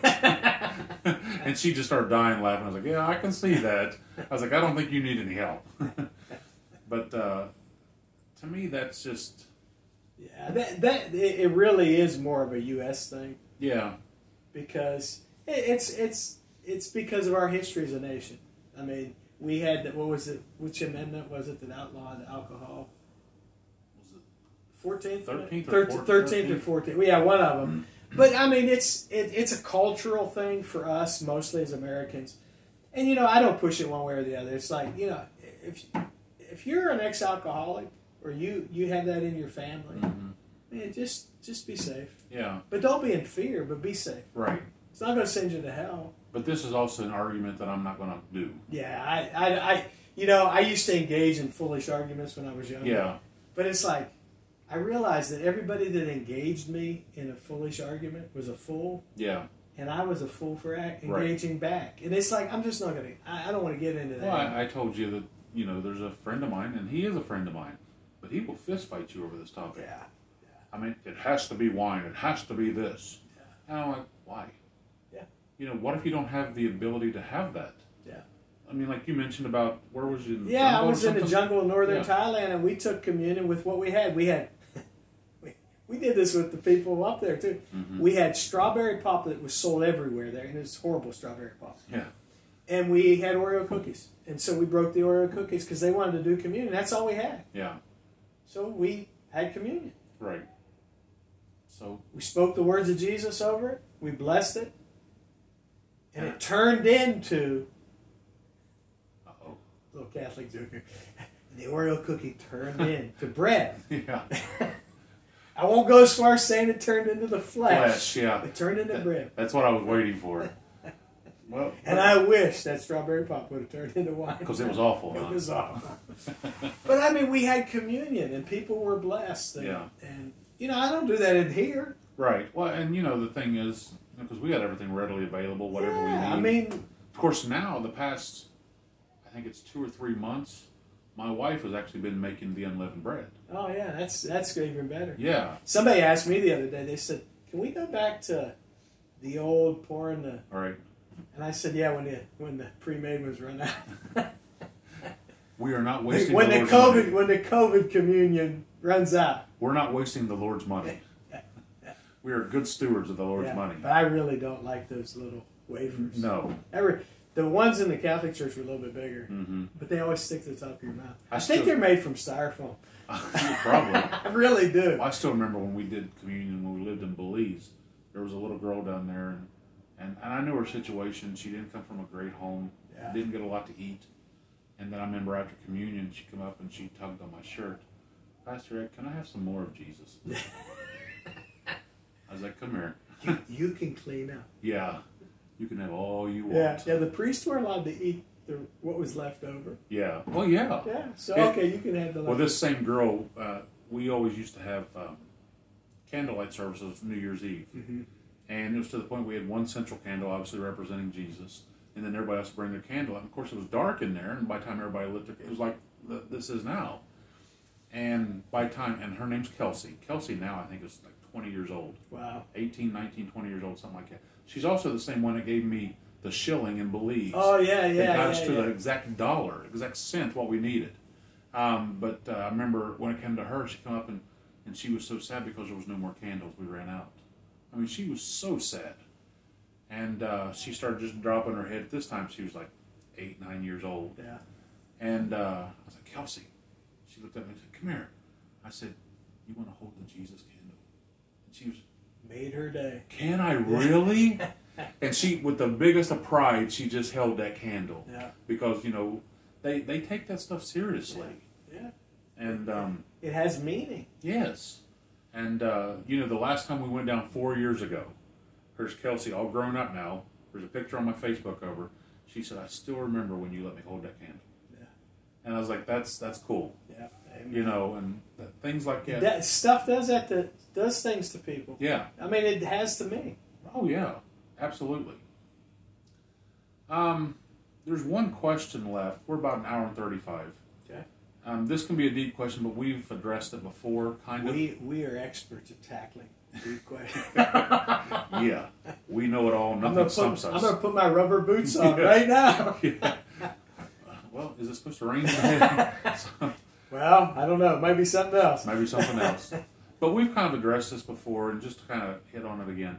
Do you believe we're in the end of times? Why or why not? I do. Me too. I don't know where we're at. All right.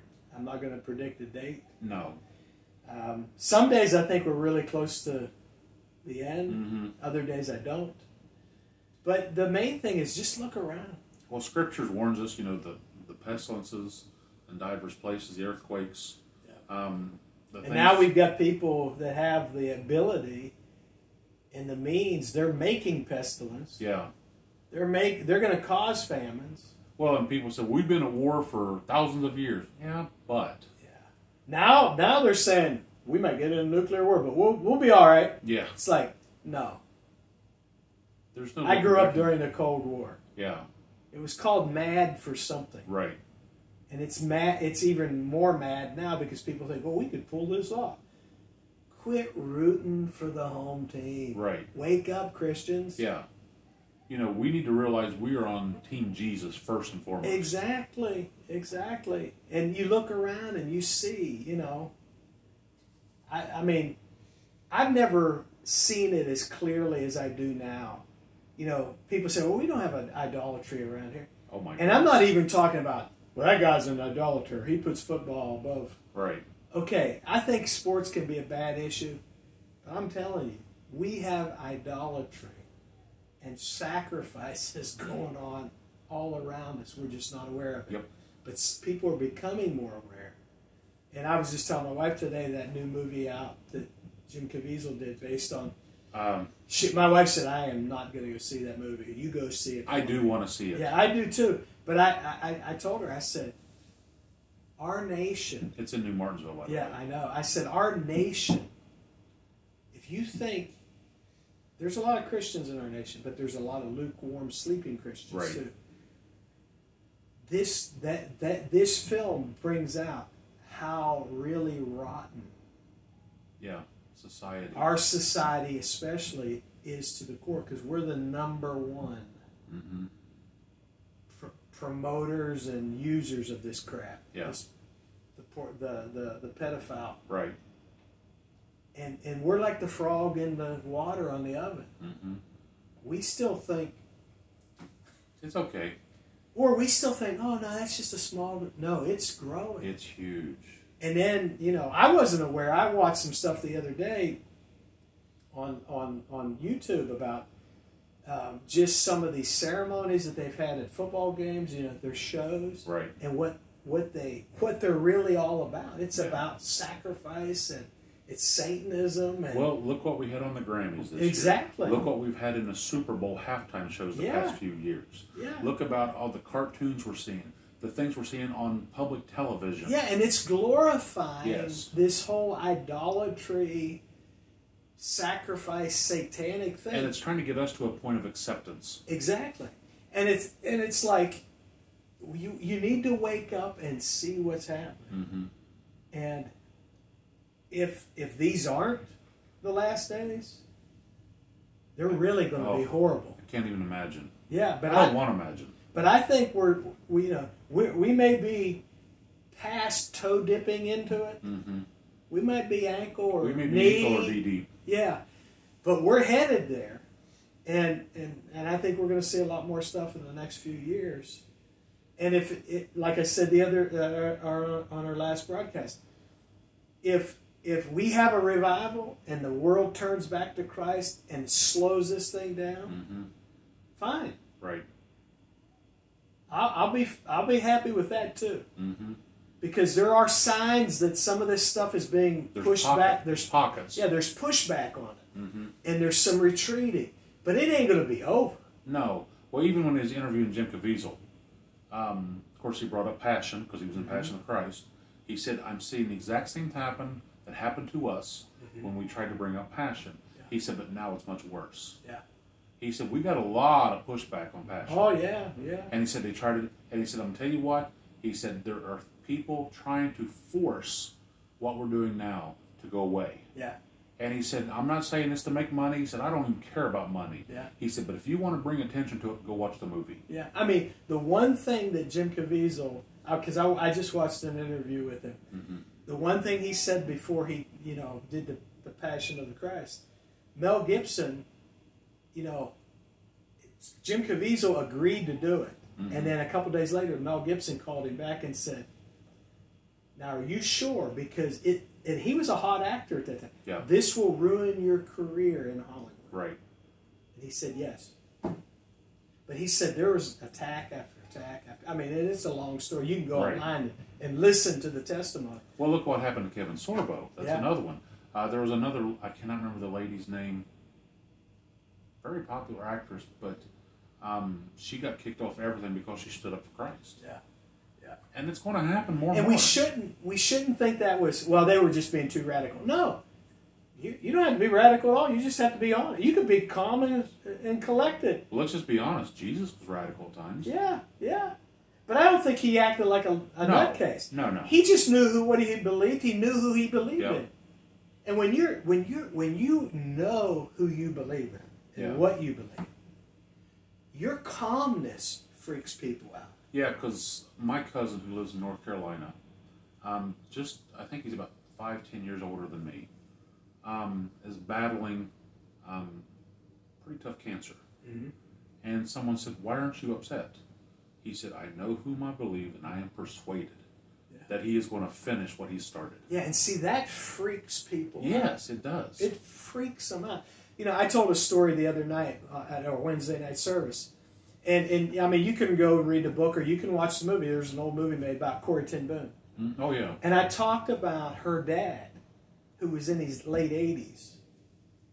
And in the movie, it shows him when they began to hand out the stars, hmm you know, the, where the Jewish people had to go and register after the Nazis took over um, Holland. He went as a he was a Gentile, hmm and he said, "I want my star." And they said, "You're, you're not Jewish." right. And he said, No, I am. Because I, I, I trace my heritage through Christ back to Abraham. And, and I, I challenged our church. I said, You know why he could do that? Because he read the Word of God and believed it. Yeah, He had a foundation. He was prepared. Because I was talking about where this where John the Baptist was foretold to come to prepare the people right. for the coming of the Lord. Mhm. We're in that same position. today. Absolutely. But, but we have to have a foundation. Yeah. And And we have to make those decisions. We do, and if Yeah. you don't have the foundation of Christ, you better reconsider your foundation. Yeah, so I look at Jim Caviezel and I think, uh, somebody might say, well, he's a Catholic. Yeah, praise the Lord. Yeah, He loves Jesus. right. Well, how can Catholics love you? Well, just listen to it. Listen to him. I mean, he loves the Lord. That's when we need to get past this moniker of denominations. Yeah, I mean, they, I don't have any doubt hmm that he's a believer. I actually had someone ask me, said, "Do you believe there's actually going to be Catholics in heaven?" I said, "Sure." Yeah. I said, "Guess what? There's going to be Baptists going to be in hell too." Yeah.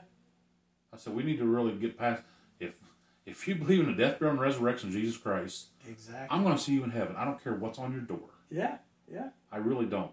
yeah, So let's just get over that garbage." yeah. And, and you know, it's kind of, some of the stuff's kind of like the communion question. Yeah, it really is. Well, he prays with a rosary. I don't care. How many Christians don't believe in rosaries, but they don't pray either? Yeah. And the people that complain about it are the ones that don't even pray. Exactly. The- Like you said Because if you pray, you won't be able to complain very much because in your prayer time, God's going to say, um, How about kinda, you kind of got some loose lips there. How about you focus on me? you know, that's like the what you, what you just said a while ago. The people that usually complain about prosperity are the ones that don't even give or anything. Yeah, yeah, exactly. You know, we we need to look in the mirror a lot. Yeah, yeah. A lot- Most of my encounters with people that argued about prosperity, I just turn to them and say, "Do you tithe?" Right. It's like a demon transforming. You know, it's like, okay, well then you really don't have an opinion. I love when they say it only mentions tithing in the Old Testament. Yeah, yeah. So Well, you know what? I have an answer for them. It's a it's a great answer. You want it? You want me to share it on the air? do it. I said, you're right. In the Old Testament, the starting point was a tenth, ten percent. I said, Jesus said we have to give everything. Yeah. So Jesus has a right to say, oh, he did say it to somebody in the Bible. hmm Do you want to come follow me? You only like one thing. Sell everything. Sell everything, you have. And he was very rich. Sell everything you have. Give to the poor and come follow. And Jesus has the right. And what did it say? He turned away and he was sorely sad. Yeah, and Jesus still loved him because in one, one of the Gospels said, and Jesus loved him. Yep. So Jesus has a right to say, I want you to lay down your life. Right. Literally, I want you to lay down your life. Because he paid for ours. Exactly. So he can ask us even things we don't think he has a right to ask us Mhm. if we believe. And that scares me. Oh, I mean, I'm not scared of. I know Jesus loves me, right. but that scares me because my response is really important to that, and he really does have a right to ask us that. Well, I remember the first time I'd I'd never been out of the country. I mean, yeah, I was born in Puerto Rico, but I don't remember it. But I still remember, you know, I was happy being the preacher. I was happy because I wasn't a pastor at the time. Yeah. I was traveling around, going place to place. But then all of a sudden, the Lord said, "Yeah, you're going on a mission field." I'm like, "What?" My Lord, I'm living the good life. I'm enjoying what I'm doing. And you know, I, I love. Well, that's a problem. You know, you need to step out It's of that. not comfort about zone. you. You have to follow me. That's right. Yeah, yeah, And it was terrifying. yeah. You know, but But you know what? We would do it again. uh, yeah, I mean, I know people just thought I was nuts going to the former Soviet Union. It was it had just started coming apart. right, You're taking your wife and your two little kids over Right. there. What are you doing? You're nuts. right. Oh, what could I do? Well, you know, there's probably some people that would say what I did after church Wednesday night. Are you out of your mind? Yeah. Why are you doing that? Yeah, that's not even real. Yeah. Why are you doing that? And I was so thankful though, because when the the young gentleman brought it up for prayer request, and he had already told me, he says, "Can I share with the church?" I said, "Sure, Yeah. go right ahead." And uh, I what I loved is not one person went, "Out of your mind." Yeah. Everyone was like, "We need to pray." But you know, what probably made it how easier. That was your Wednesday night group, wasn't it? Core. Yeah. Core. Yeah. Sometimes you can't bring it up to the general core Right. group because there's some that are like, "What?" Yeah. You know, there's those that come and punch their time card, and Yeah, when Yeah. they're finished, they punch out. Yeah. But we've got to change. yeah, You know, I mean, that's what it's all about. and I'll tell you what, I, I will admit, if first part of my ministry, if someone asked me to do that, I'd be trembling. Uh, I've, I've had some tremors come up my legs. So, uh, see, us Pentecostals, we can cover that. exactly. You guys have you guys have a little bit harder time. Yeah. Well, especially at my size. but um, I don't know. Maybe I just need to think about when that first bite of fried chicken hit. I haven't had fried chicken in a long time. oh, but I'm so proud of you, bro. Oh, well, I finally passed the 100 pound mark, Yeah, you're, So- you're doing well. Just keep going. But that's all right. Don't backslide. No, well, I don't even have a desire. That's what's funny. That's awesome. I don't have a desire for, well, we joke around because my wife looked at me the other night. She said, I want ice cream. Yeah, but we are legion. Yeah. yeah. There's many flavors. And then she tried to play it off. She said, of course, she said our boy's name. She said, he wants ice cream. I Yeah. said, no, he doesn't. Stop that. And minute, quit speaking through him. yeah, exactly. But um, I, I just don't have a desire. Yeah. I mean, but the thing is, even if we do eat something bad, oh well, it's one time. Yeah. It's not living in it like we used to. Yeah, you don't have. Yeah, it's not your identity. Your taste change, Yeah. everything. Yeah. So, but that's all right. Amen. So we are at an hour and fifty. I think So- we, we covered everything. I we, we got every question. Well, praise the Lord. And uh, I Wednesday night, I think I mentioned this to you yesterday when we recorded as well, but I had like five or six people. When y'all doing that live thing? When y'all doing that live thing? I was looking at my calendar today. Yeah. so I think we're going to try to squeeze it in when you get back Right. before I leave. And you're leaving in August, right? I'm leaving the. f- I have to go to Pittsburgh on the fifth, Okay. so we've got we've got a little bit of time in there. So what? About two weeks? We're going to try to fit it in there, maybe. Yeah, We'll do it. I'll work on some stuff while you're gone, Yeah. and then because I mean, there's not not a lot of preparation we have to. do. No. we just have to give people the opportunity to come. Right. And uh, we've had I've had a few people say they'd like to come. Was like, great. Yeah. That'd be awesome. Yeah, and I know we're doing we'll do it at our church, and um, we'll have you know I'm, I'm talk to my wife. We'll probably have some stuff, Well, your- coff- your church- and Your church is better set up for it, anyways. No doubt. Yeah. Um, there's no doubt about that. So I'm looking forward to it. yeah, yeah, and that that offer's open if if you need it Oh yeah, yeah. for the We'll have to 19th, keep that in the mind. nineteenth. Yeah, And no the- pressure, but Right. Yeah. I know how you Pentecostals are. I Want the glory. No, that's like I said. That's the one thing that most that I love working with you and Benny, especially. We don't care Yeah, because it, the focus is on the Lord. yeah. It's just you know whatever works. Yeah. I mean, I'll come. I'm coming no matter what. so Right. It's not a big deal. You know. If you have it up at our place, I might end up having to clean up, and Uh oh. I'd rather not. But no, no Well, in that case, I'm just teasing. no. But uh, we're so thankful for you once again, watching, listening, yes, and uh, it's been a blessing. it has been. So, and I, I had to kind of laugh the other day because I remember I made the statement to you. I said, I don't know how people do podcasts every day. And then you look at me and say, well, if the Lord burdens Yeah, us. we could probably do it. but it's, it's to, to me, this is not work. No.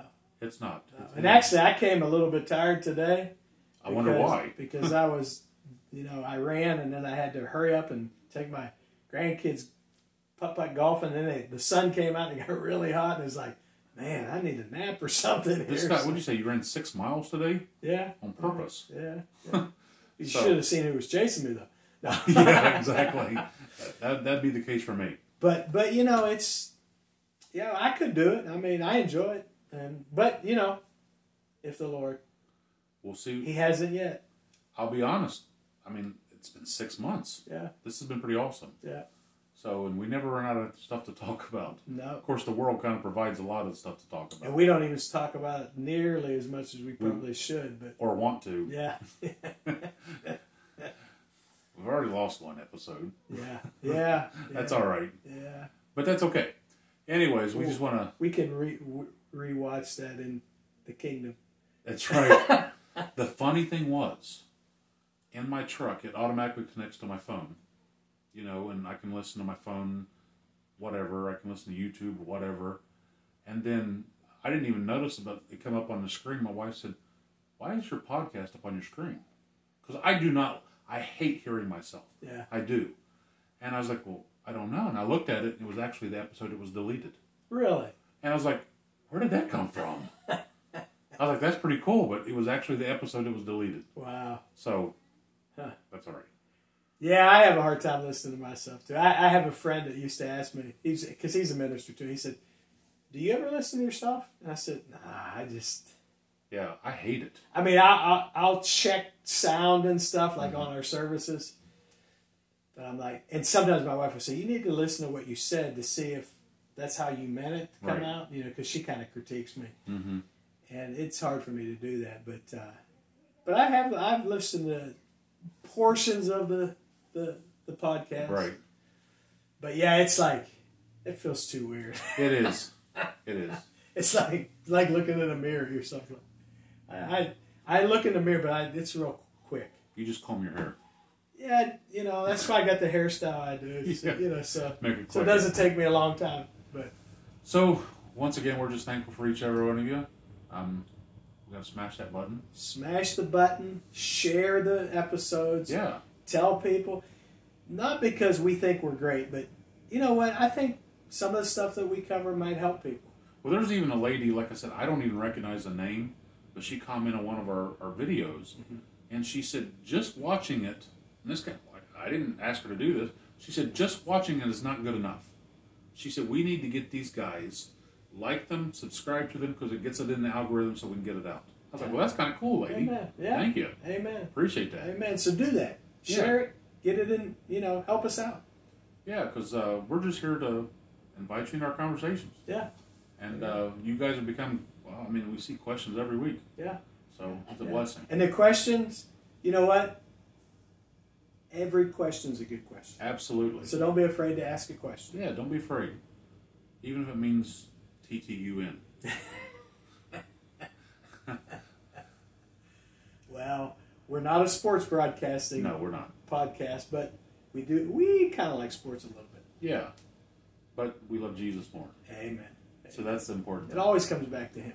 So once again, we just appreciate you watching and listening on all platforms. Uh, remember, do all those things. Like it, subscribe, Yeah. smash. And uh, I think we'll end up in, uh, in prayer once again. Yep. And be blessed. And the next time we come back, Ed will have some stories for us I hope so. from Belize. Yeah. I know you will. I'm looking forward to it. Amen. Me so too. it's going to be a blessing. And uh, yeah, I'm, I'm looking forward to seeing.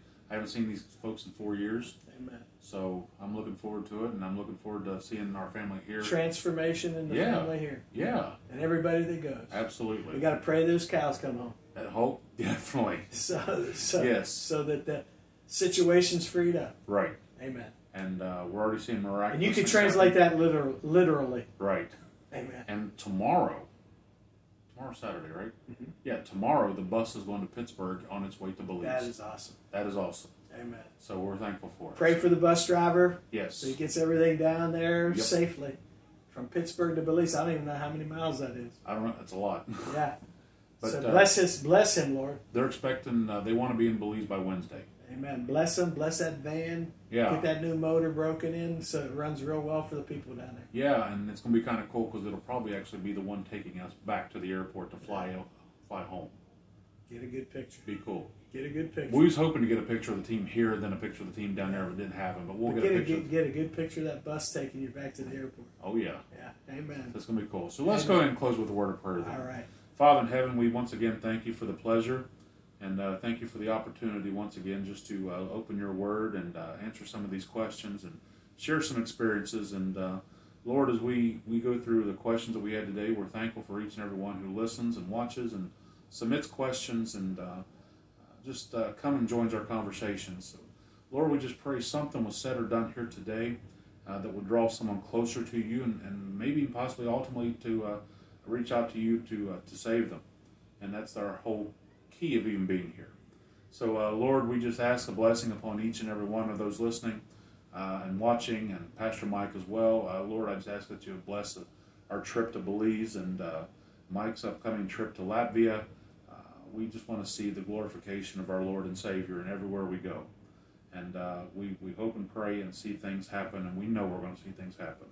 So, Lord, we ask you and we thank you for the cross. We thank you for the empty tomb.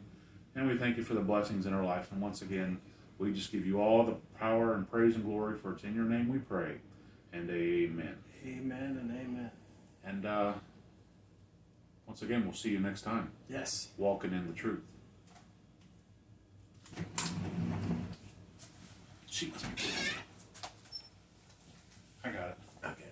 I got it.